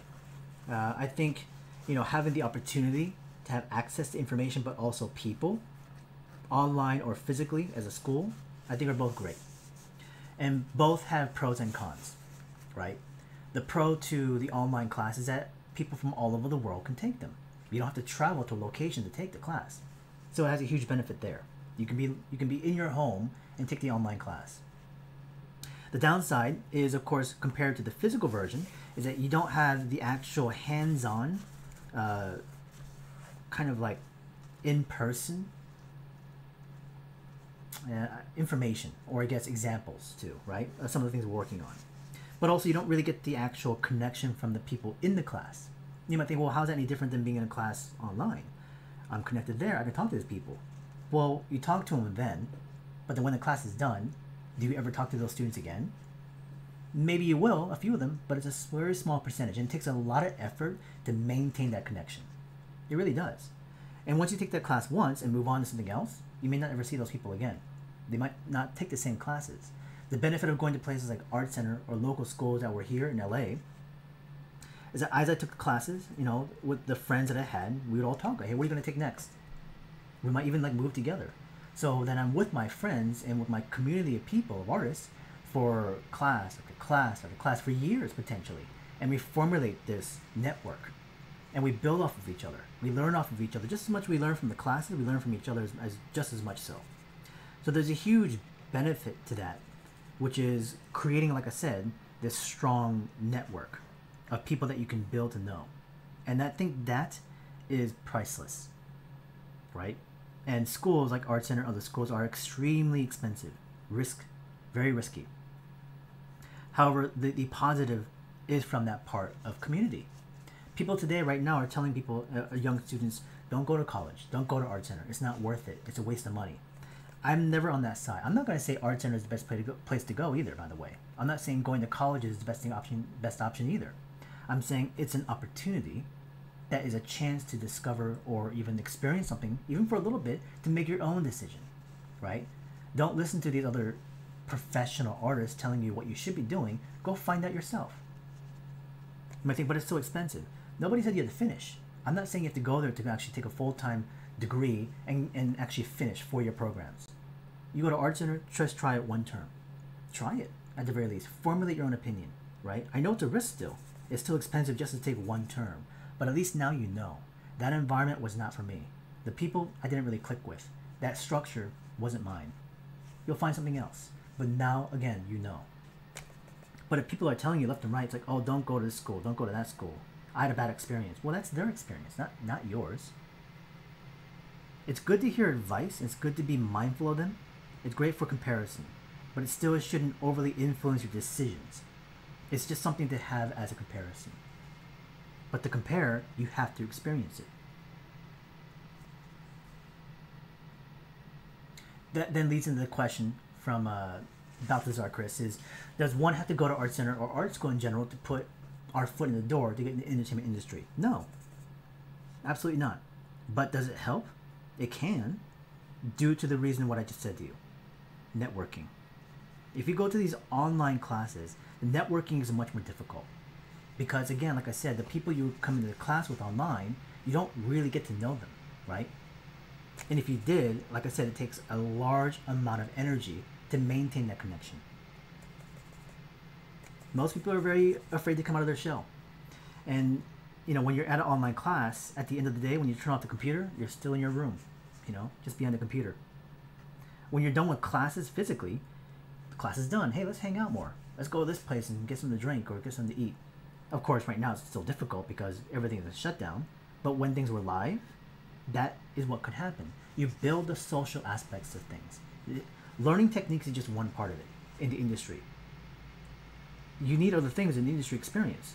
How to socialize, how to talk, how to actually have confidence in, in the things you're trying to actually pursue.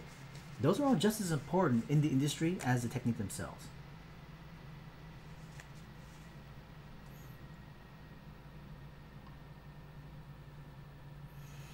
Let's see. Young Ching Art is asking I recently noticed that when I'm trying to study a subject, my head tends to go empty. Even when I try to, uh, try to deliberate practice, it feels like I'm not getting much info into my brain. Is that normal or is that something wrong with me? I would say that's relatively normal, um, especially if you're just beginning, right? Starting to start a subject. Uh, you know, your head tends to go, kind of go into autopilot. It kind of goes blank a little bit.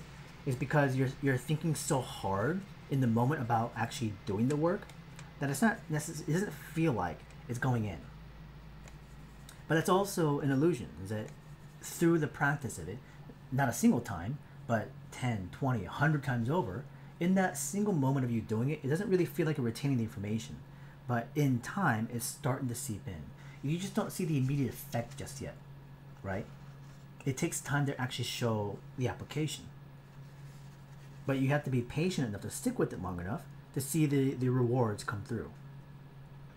If you're looking for a fast turnaround, you're in the wrong business. Patience. It's, it's going to work. If you're still, uh, you know, dubious in terms of your working ethics, you know, all that kind of stuff, and uh, drive and hunger, given enough time, it will work out.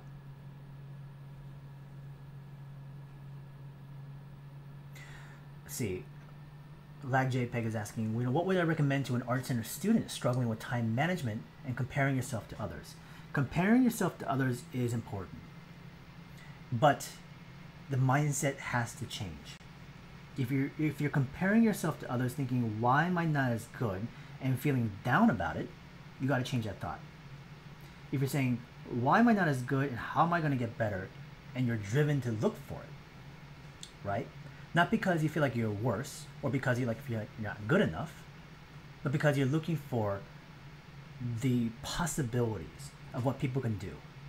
If anything, what happens over time is that you actually want to find more people that are continually stronger than you, always better than you. Because that drives you to look for the lead in that pack by saying that person has gone that direction that far. That's possible. So then, if I drive hard enough, would I be able to get there too? The for me, again, I look at these kind of people that I uh, surround myself with now. Guys like Kim Jung Gi, guys like Karl Kopinski. I'm in that pool of water right now, right? And they are far better than me. I can honestly say that. But I'm not saying that in a way to bring myself down. I'm saying that that's literally truth. These people have worked that much more and they're in that position. They're really that good. That's possible. That means if I work hard enough, would I be just as good, if not better than them? I will try. Will it happen? Doesn't matter. Most likely not, but I don't care. I'm still going to try as hard as I can to see what can happen in that time that I'm given, right? If it doesn't work out, no regret, because I tried as hard as I could. But let's say, oh, I'm not as good as guys like Kim Jung Gi. I'm not as good as guys like Karl or Nicholas Namiri or whoever else. I'm not going to sit there kicking myself, right? There's no regret at that point. So the battle then, of course, is always against yourself. But you need the competition because you got to see where you're situated. Where do you stand among all these other peers? And that should, if anything else, invigorate you, not scare you. Every time I'm around those guys from SuperAni, I get to hang out with them, you know, and go to shows or do gallery work. I look around, sit next to them, and be like, man, they're so good. But then I start to like get built up, right? The energy, the fire starts to build even stronger. It's like, man, I gotta draw even more, you know. And the thing about this is, I guarantee you, they're thinking the same thing. That's the way this industry works. In terms of time management, uh, I think a lot of it is very much dictated by the individual, of course, right? Some people are very good at doing it by themselves. I think others need other people. You need help by a community. By working with others, you have to build a routine. And when someone's expecting you to come out and start working on things, you feel driven to go out and actually complete that work, right? But when you're kind of sitting by yourself in a room, it's really hard to keep up that management. You know, it's good to have other hobbies, but don't, don't let them become uh, dependencies or distractions. You can do those things, play games, watch movies, do those things for sure, but don't just turn to them because you feel like I can't work right now because you know I don't have the energy or I don't have the interest. You do them because you feel like you can actually gain something from them. I mean, I understand. It can be fine to also take a, a break and relax, and I don't really have the energy. I'm tired and all that kind of stuff. And yeah, have those moments also. But if you're sitting there for nine hours not doing anything, it's like, oh, but I need more rest time. There's a problem then, right? If anything else, then of course structure. Uh, maybe there is something like a calendar structure to stick with. From there, it's the constant activity of doing it. It takes time. I would say about a good two weeks to really get into the routine. It's much like exercise, right? Any kind of physical exercise in the beginning, the first three, four days sucks. After a week, it feels sore, getting a bit better. Two, three weeks in a month, you start to build a routine, right? It's got to become normalized. Uh, question is, I heard that I gave a mini watercolor lesson in the last dynamic sketching uh, class, the extension version. Am I planning to do it again? I am. I will, Gwench.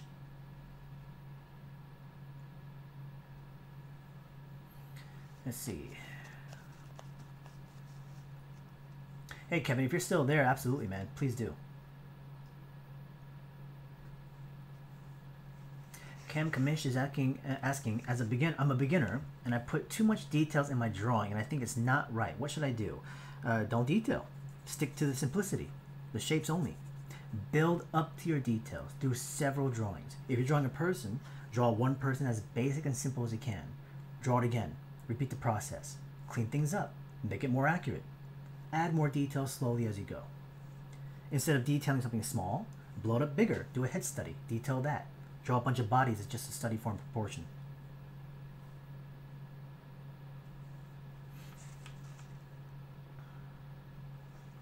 Okay, let's go move on to other fish here.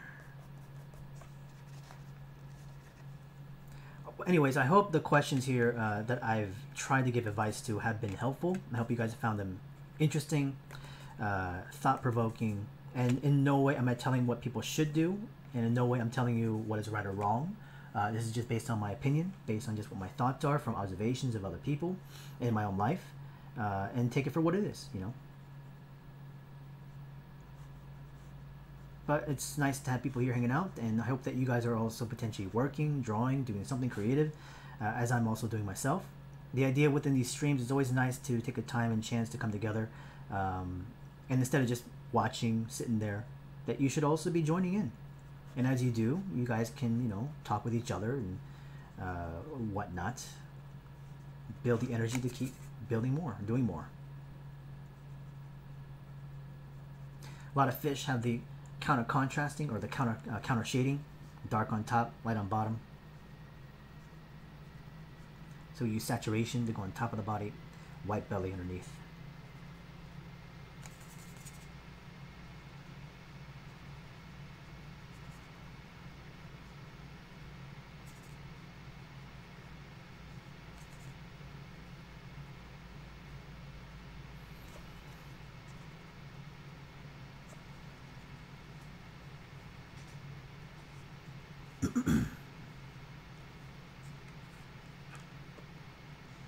Once mentioned being very influenced by Katsuya Terada. Can you tell us about what you liked about his work and how it influenced your own? Well, for me, I really loved his line, his actual line. From the way he hatched, from the way he accented details, uh, it felt so effortless. And it was organized in a way where just the aesthetic of it, I recognized, you know? The organization of lines, how they're put down. And I started to understand more about the way he thought when I met him. You know, so after meeting him a couple times, watching him draw live, I would ask him questions also. And some of the questions I asked were things like, you know, much like what you guys are asking, like, what are you thinking right there as you're drawing, right? What's the process that goes into it? That was one of the questions I asked him, and his answer was kind of revealing because it kind of was similar to the way I thought in drawing as well too. His reply was that for him when he draws, uh, the question was kind of like, you know, how do you predict the line as you then go from one line to another one, right? How do you how are you able to visualize the directions of line work essentially? And for him, his answer was each line, it makes sense for him to be there where it needs to be, because for him, drawing was like writing. Think of it where a line is like a letter and as you combine letters together you formulate words.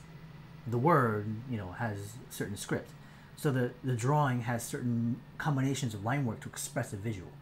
As you put the words together you can formulate sentences from sentences to essays or, or poems.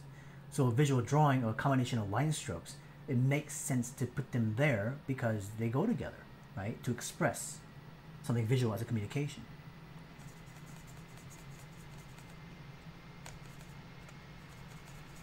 So the idea is that you're trying to hone your skills to write properly through drawing so that it makes sense, the clarity of read, visual communication.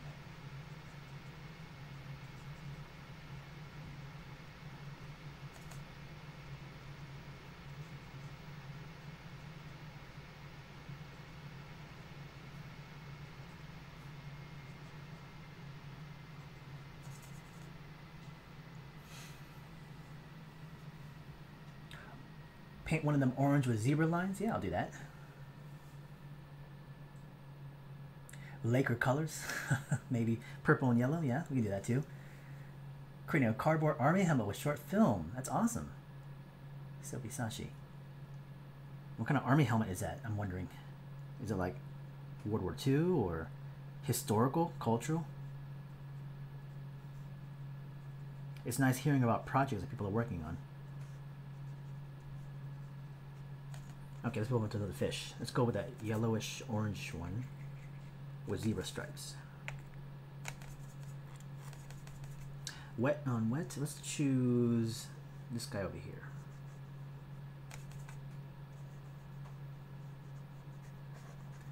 Again, a lot of water uh, for the first application to spread the uh, pigment out.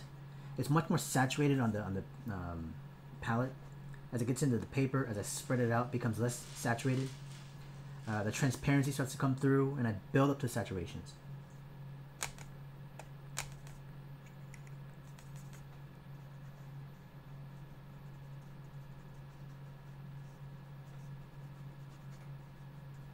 I'm going to be using some cast shadows to help separate them a little bit.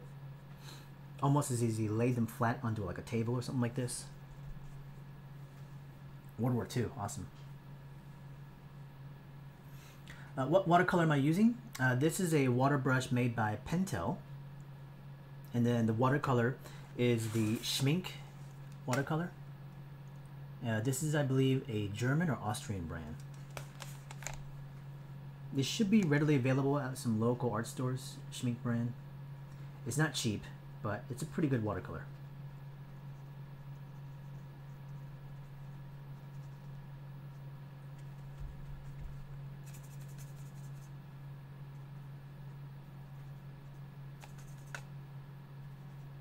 Still a little bit of kind of a peach or pinkish color to the belly. Screen wise, it's not going to be the same as my actual paper, by the way. Um, there's always a loss of quality or clarity as it goes from video from the paper. I always get that comment when some people actually look at my actual sketchbooks and it's like, man, this is so different compared to what I saw on my uh, on social media. It's like, yeah, usually the digital or digital the digitization of the photograph kills the quality of the image quite a bit. So more than likely what you're seeing at the moment is probably not as nice. So I do apologize. Let's go into the stripes. Let's put a little bit of a cool a blue in there.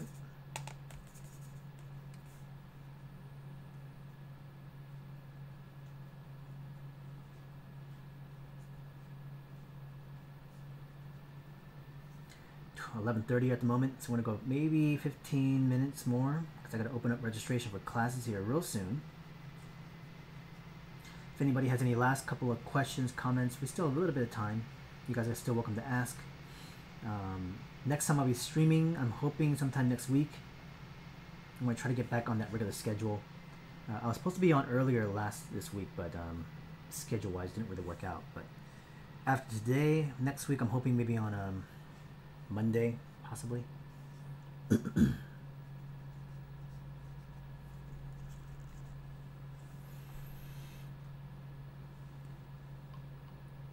Let's see, the question for Tony Gear is the materials for the classes will be the same as the standard dynamic sketching class? Yes. And I will send out a welcome email for everybody who signs up.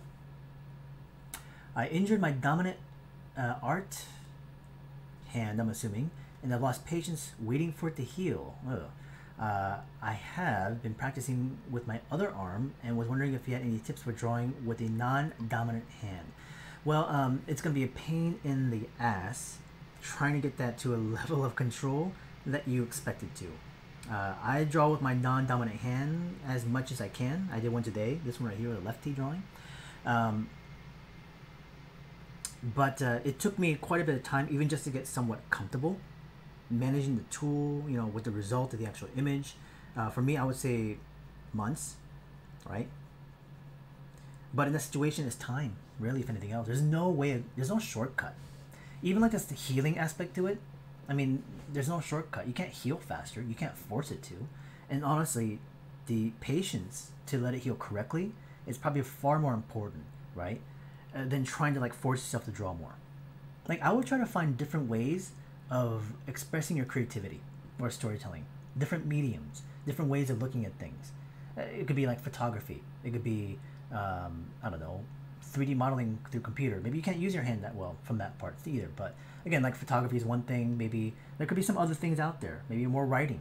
I don't know. If if you're saying if you're saying that I can't actually control the tool at all, you know, then I understand you're kind of stuck a little bit. Um, it could be through getting outside more. I don't know. It could be a little bit of travel if you have to. Um, but something to kind of put you in a position where you're always finding visual inspiration and also some form of creativity. It doesn't always have to come down to you drawing, right? And I understand that sounds like it's kind of going backwards. Like you should be building your your basically your mileage when it comes to drawing. But I talked about this a lot earlier, which is the idea that learning doesn't only just come from uh, the physical activity of sitting there and drawing and sketching, right? Building as an artist is the experience in life. So don't rush through it and don't cut yourself off from learning in different ways. What that is, I mean, you'll have to discover that, but I would hope you'll find it. Then, of course, I hope you heal well, you know, so.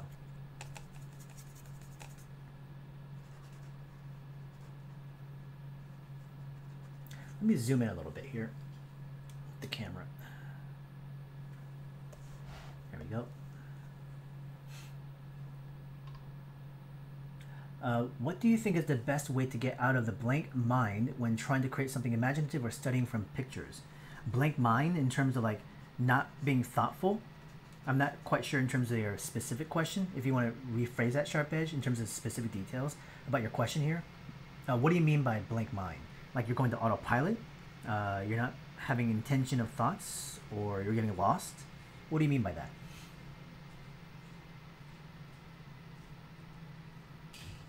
How to best discover your mistakes so I can improve. I think a lot of times it's hard to see your mistakes and I don't know who I should ask. Yeah, I understand. You, sometimes you can't see them at all. And you do need new pair of eyes sometimes. Uh, or at least, you know, different set of eyes to always see something that you don't always catch. And, that could be, honestly, anybody. Yeah, it would be recommended, it would be like students and instructors, of course.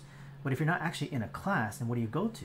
I mean, you can use social media but you know maybe it's not the most confident place to go to and maybe you don't really get as much response as you want um, sometimes it can be just a person next to you honestly like family um, someone you know friends but you're like well they're not artists they don't necessarily have to be artists to look for something that stands out right for instance if you're drawing something from reference and you're looking for irregularities something that's off a little bit you might even ask them hey how close does this look to the image in the photograph i'm drawing from right does something seem off to you? They might not even be able to tell you exactly, but if they can see something that feels slightly inaccurate, because we can all judge accuracy by comparison, all people, right? But like I said, it may not be exactly what you're looking for. Um, so in that situation, definitely looking for a community. I'm sure you can find some sort of grouping of Discord. You're on Facebook possibly as well too, or Instagram.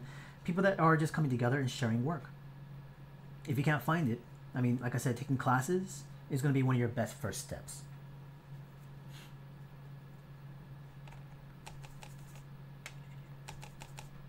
Of course, I know that not all people can afford that, but still, maybe you can save up for it, you know. Might not happen today, may not happen tomorrow, but maybe sometime later in the year, maybe sometime next year,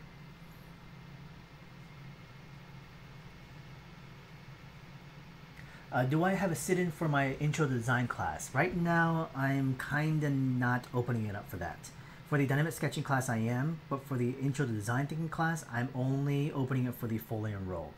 Um, I made that decision at this point because uh, it's it's one of those classes that doesn't fill up to a large degree. So if it was only like sit-in people, it'd be kind of awkward, you know. So uh, I only want it to be just people that are enrolled at the moment because I only literally get like five six people in the class sometimes, which is good. I like that. You know, I want it to be a small class. But if I leave the, the opportunity for only sit-ins, then people might only do the sit-in, which wouldn't really work.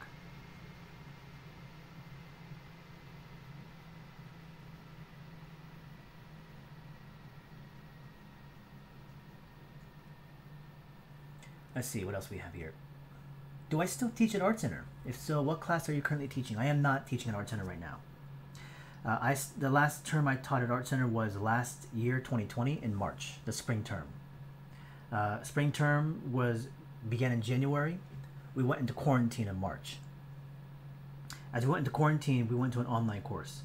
And I finished the term online with, with Art Center. Summer term, I usually am off, no matter what. Fall term, I didn't hear back from them and I never reached out. uh, and the reason was because you know at the beginning of 2020 I had started my own classes, so all of my energy and emphasis is already focusing on my classes. I had no interest, you know, in reaching out to Art Center. If they wanted me, I had considered it, but I didn't hear from them. So I essentially just took it as moving on.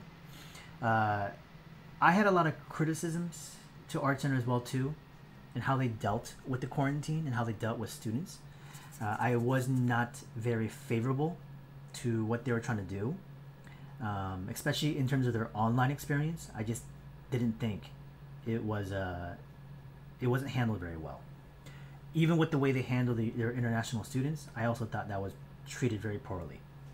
So um, I didn't want to have that much affiliation with the school there afterwards either. And because my own online classes were doing so well, I had no concern of going back to Art Center. I've been doing it for 10 years. 10 years of Art Center I gave my life to.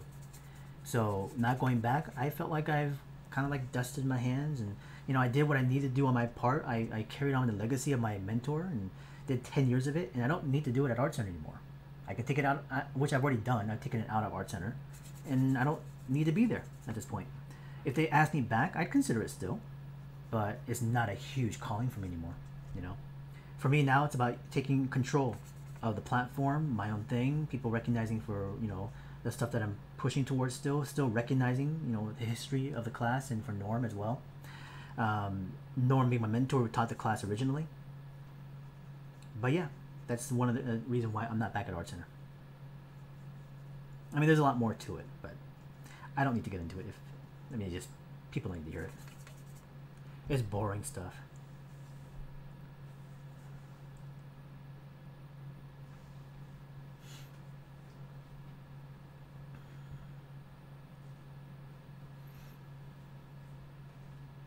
So I was reading one of the comments here. I was trying to see if there's a question or not. Gnomon was disappointing, as Broken Robot Art was saying. Interesting. Yeah, I don't know much about how Gnomon uh, transferred online. I know the director of Gnomon. Um, good friends with them. You know, they're, they're a good school in terms of what they do, in terms of what their focus is. But I don't know exactly how it went for them in terms of 2020. But it feels rough. That's unfortunate. I don't think many art schools did well in terms of transitioning as an art online school. It's difficult to do as an art school because a lot of the things that they did, you know, demand so much of it being on location, you know, being physically there. And when you kind of lose that, most of the instructors are not really properly set up to teach online. Um, I mean, I'll tell you, as one of the things in terms of my thoughts, that was one of the problems I had was that at Art Center when when we went into online classes in March, they literally took a week off of the term of Art Center, and they used that week to bring the instructors up into you know the same level or at least you know having them understand how to run an online class essentially. So they got you know art center and everybody a zoom account and they had these like live meeting or online meetings trying to train them on like how it's supposed to be run in a week. I, I what they should have done was close Art Center, refunded the students they actually was there for whatever number of weeks for the term, right? Trained the instructors for that entirety the rest of the term, and then brought them back for summer online. But they didn't. They just kept going, saying, "Oh, we're taking the week off. We'll train the instructors," which none of them had no idea what to do. Because I went to you know the actual live meetings. Um, you know, most of the instructors at Art Center are old they're like 60, 70 years old, some of them. Now, I'm not saying they're bad instructors, they're amazing instructors. The problem is they've never taught online. And teaching online is actually a different beast compared to teaching in a physical class. I'm not saying it's harder, I'm saying it's different. Uh, because if you have no experience of it, it just makes it a poor learning environment. And a lot of the students suffer that term because of it. So there goes $20,000 down the drain for them, right? Which is ridiculous. So when I was in that live meeting, listening to these instructors, not knowing what they're doing, to me, I'm just like, oh my god, you know, this is going to be horrible. Um, I've been teaching online for 10 years, so I already knew generally what to do, and my setup was already there. For them, they had no camera, they had, they're all going off their phones. You know, they don't have their tables, they have no lighting situation. Some of them don't have any location to really do it in. So to expect their instructors all of a sudden to adapt in that immediate moment, I thought was ridiculous. And um, unfair for the students and for the instructors. That was an administration problem, I think. They should have stopped the term. I think most schools should have done this. They should have shut it down, refunded students, but of course, money, right? Uh, are they going to do that? Most likely not.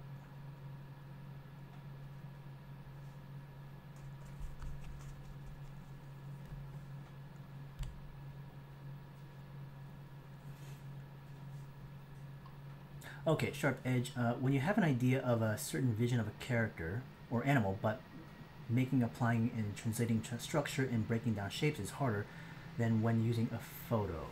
Um, yeah, again, the question is still, I mean, I'll try to answer as best I can, Sharp Edge. Uh, you know, the idea of, of a vision of a, character, a design of a character, right? And you're trying to apply things like structure and form, you know, breaking down things is harder than using when than you know compared to using a photograph, and it is. So part of the, what I teach in the class of dynamic sketching is an aspect of that, which is whatever we're looking at, whether it's a photograph, live in person, the ability to just to copy that is only time.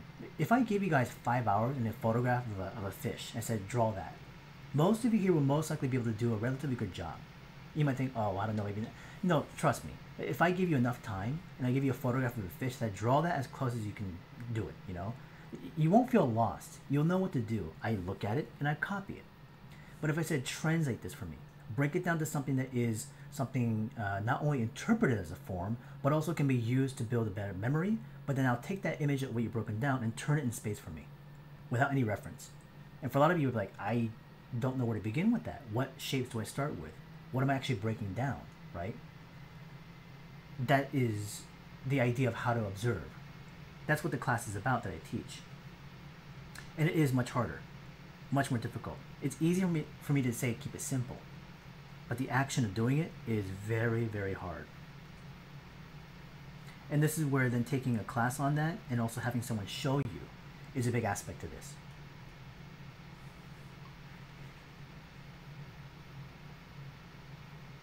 Uh, is there any tips you can give to a high schooler, junior? Uh, yeah, draw. If you like to draw, draw more, right? No matter what anybody says. Uh, don't worry about career. Don't worry about like where you need to go or what you have to prove. Do it because you really love it. Now I understand that sometimes you know parents and stuff like this are wanting to go in a certain direction because you know they're worried. They they want to make sure that you have a viable future. I understand that. Um, but it's also important that you really stick to your guns, but really show that you're completely invested and passionate about it. If you're just tiptoeing around it, more than likely a parent figure, authoritative figure sees that you're not really sure. Then they're going to try to push you in a direction. But if you're so committed that you can't break away from it, they might start to see that. But this is someone that actually is in love with this thing, right? This is not just because it's something that you just for fun. It's not a hobby is because you see this as more than a job. This is a part of you as an individual, the core being of you. I've been drawing since the age of five.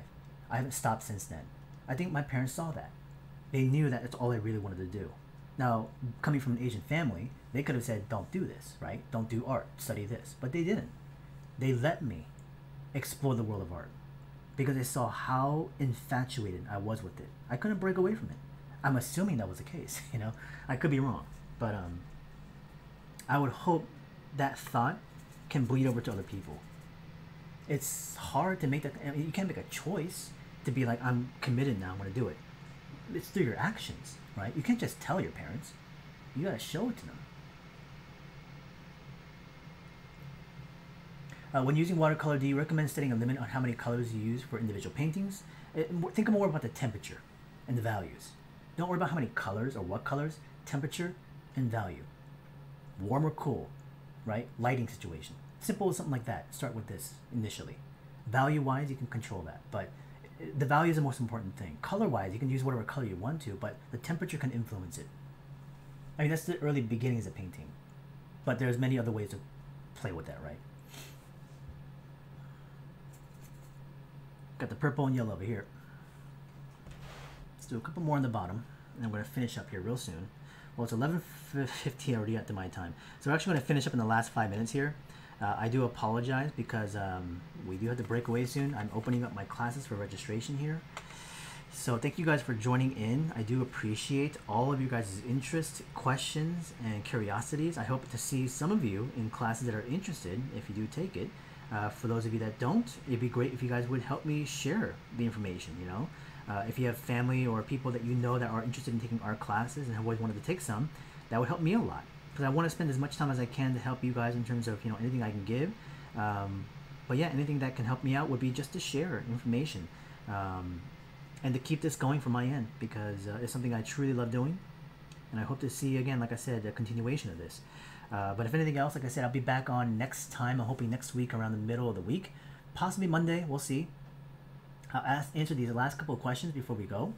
Um, you probably heard this before, but I'm thinking of attending courses for entertainment design at Art Center. While I enjoy it, uh, and while I enjoy it, I worry about the financial side of things. People online have compared being a professional concept artist to being a pro athlete. How bad is, is the competitiveness for employment for people even out of a good schools and fields like Art Center or Syn Studios or CDA, etc. So you're not at Art Center. But in terms of the competitiveness and also that comparison of a pro athlete, it's a good analogy. I would say that's a, probably proper in terms of thought. Uh, you are training like that essentially, you know, and to be professional, think of it as being a pro athlete. It's elite level to some of them. However, it's a little bit more forgiving, of course, you know, because people who are just starting in the field of concept art, you're not supposed to be elite from the beginning. You you show the potentials of being that in that position, and so you're, you're able to fill those roles through more experience, more time, and more guidance. So you continue to learn and build your experiences in the working field as well. But you got to show that you not only show competitiveness in your work, but in who you are as a person. So how you speak to people, how well you engage, how well you network, how well you connect. Those are just as important as I mentioned earlier as to the work you produce. So if you only rely on technique and art or the portfolio of the actual skills to get you the job, may not be enough. It'll only get you so far. You have to develop also yourself. So to do this requires a couple things, which is the right people around you, the potentially the right environment, uh, and of course, patience and maturity.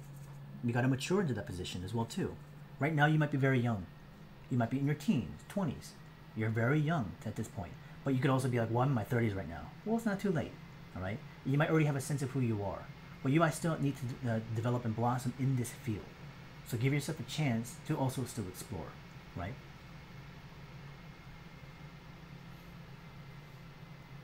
Uh, again, the added question here was how did your parents or family feel about your interest in art and how did that change? They completely backed me. Again, that was one of the things I felt very fortunate about. They didn't pull me away from it. Um, they only took me more opportunities to actually have chances to explore that. Uh, even at a very young age, they would take me to like drawing tutorial workshops, and you know we would do college visits when I was very young in my teenage years. Uh, they did this for me. And they were very much okay with me developing that because again like i said since the age of when i was very young uh, i i drew nonstop. And i showed you know all the stuff i would ever do in my interest of things. I'm sure there were worries. I'm not to say there weren't but i think they were confident enough that they could see that i was 100% committed. Okay well that's the last of the questions. Again i, I really do appreciate you guys' um, enthusiasm and energy and, and also being here to give not only to me but to others because your guys' questions also potentially hits to similar uh, paths and interests that others have here as well too. And it can only help um, enlightening everyone. Also for me so next time i see you guys hopefully it'll be another live stream uh, this will be for subscribers on twitch available immediately but for youtube this will be put up probably in about a week and a half later um, but enjoy the rest of the evening and the weekend you guys um, yeah, I'll see you next time. Cool. Appreciate it.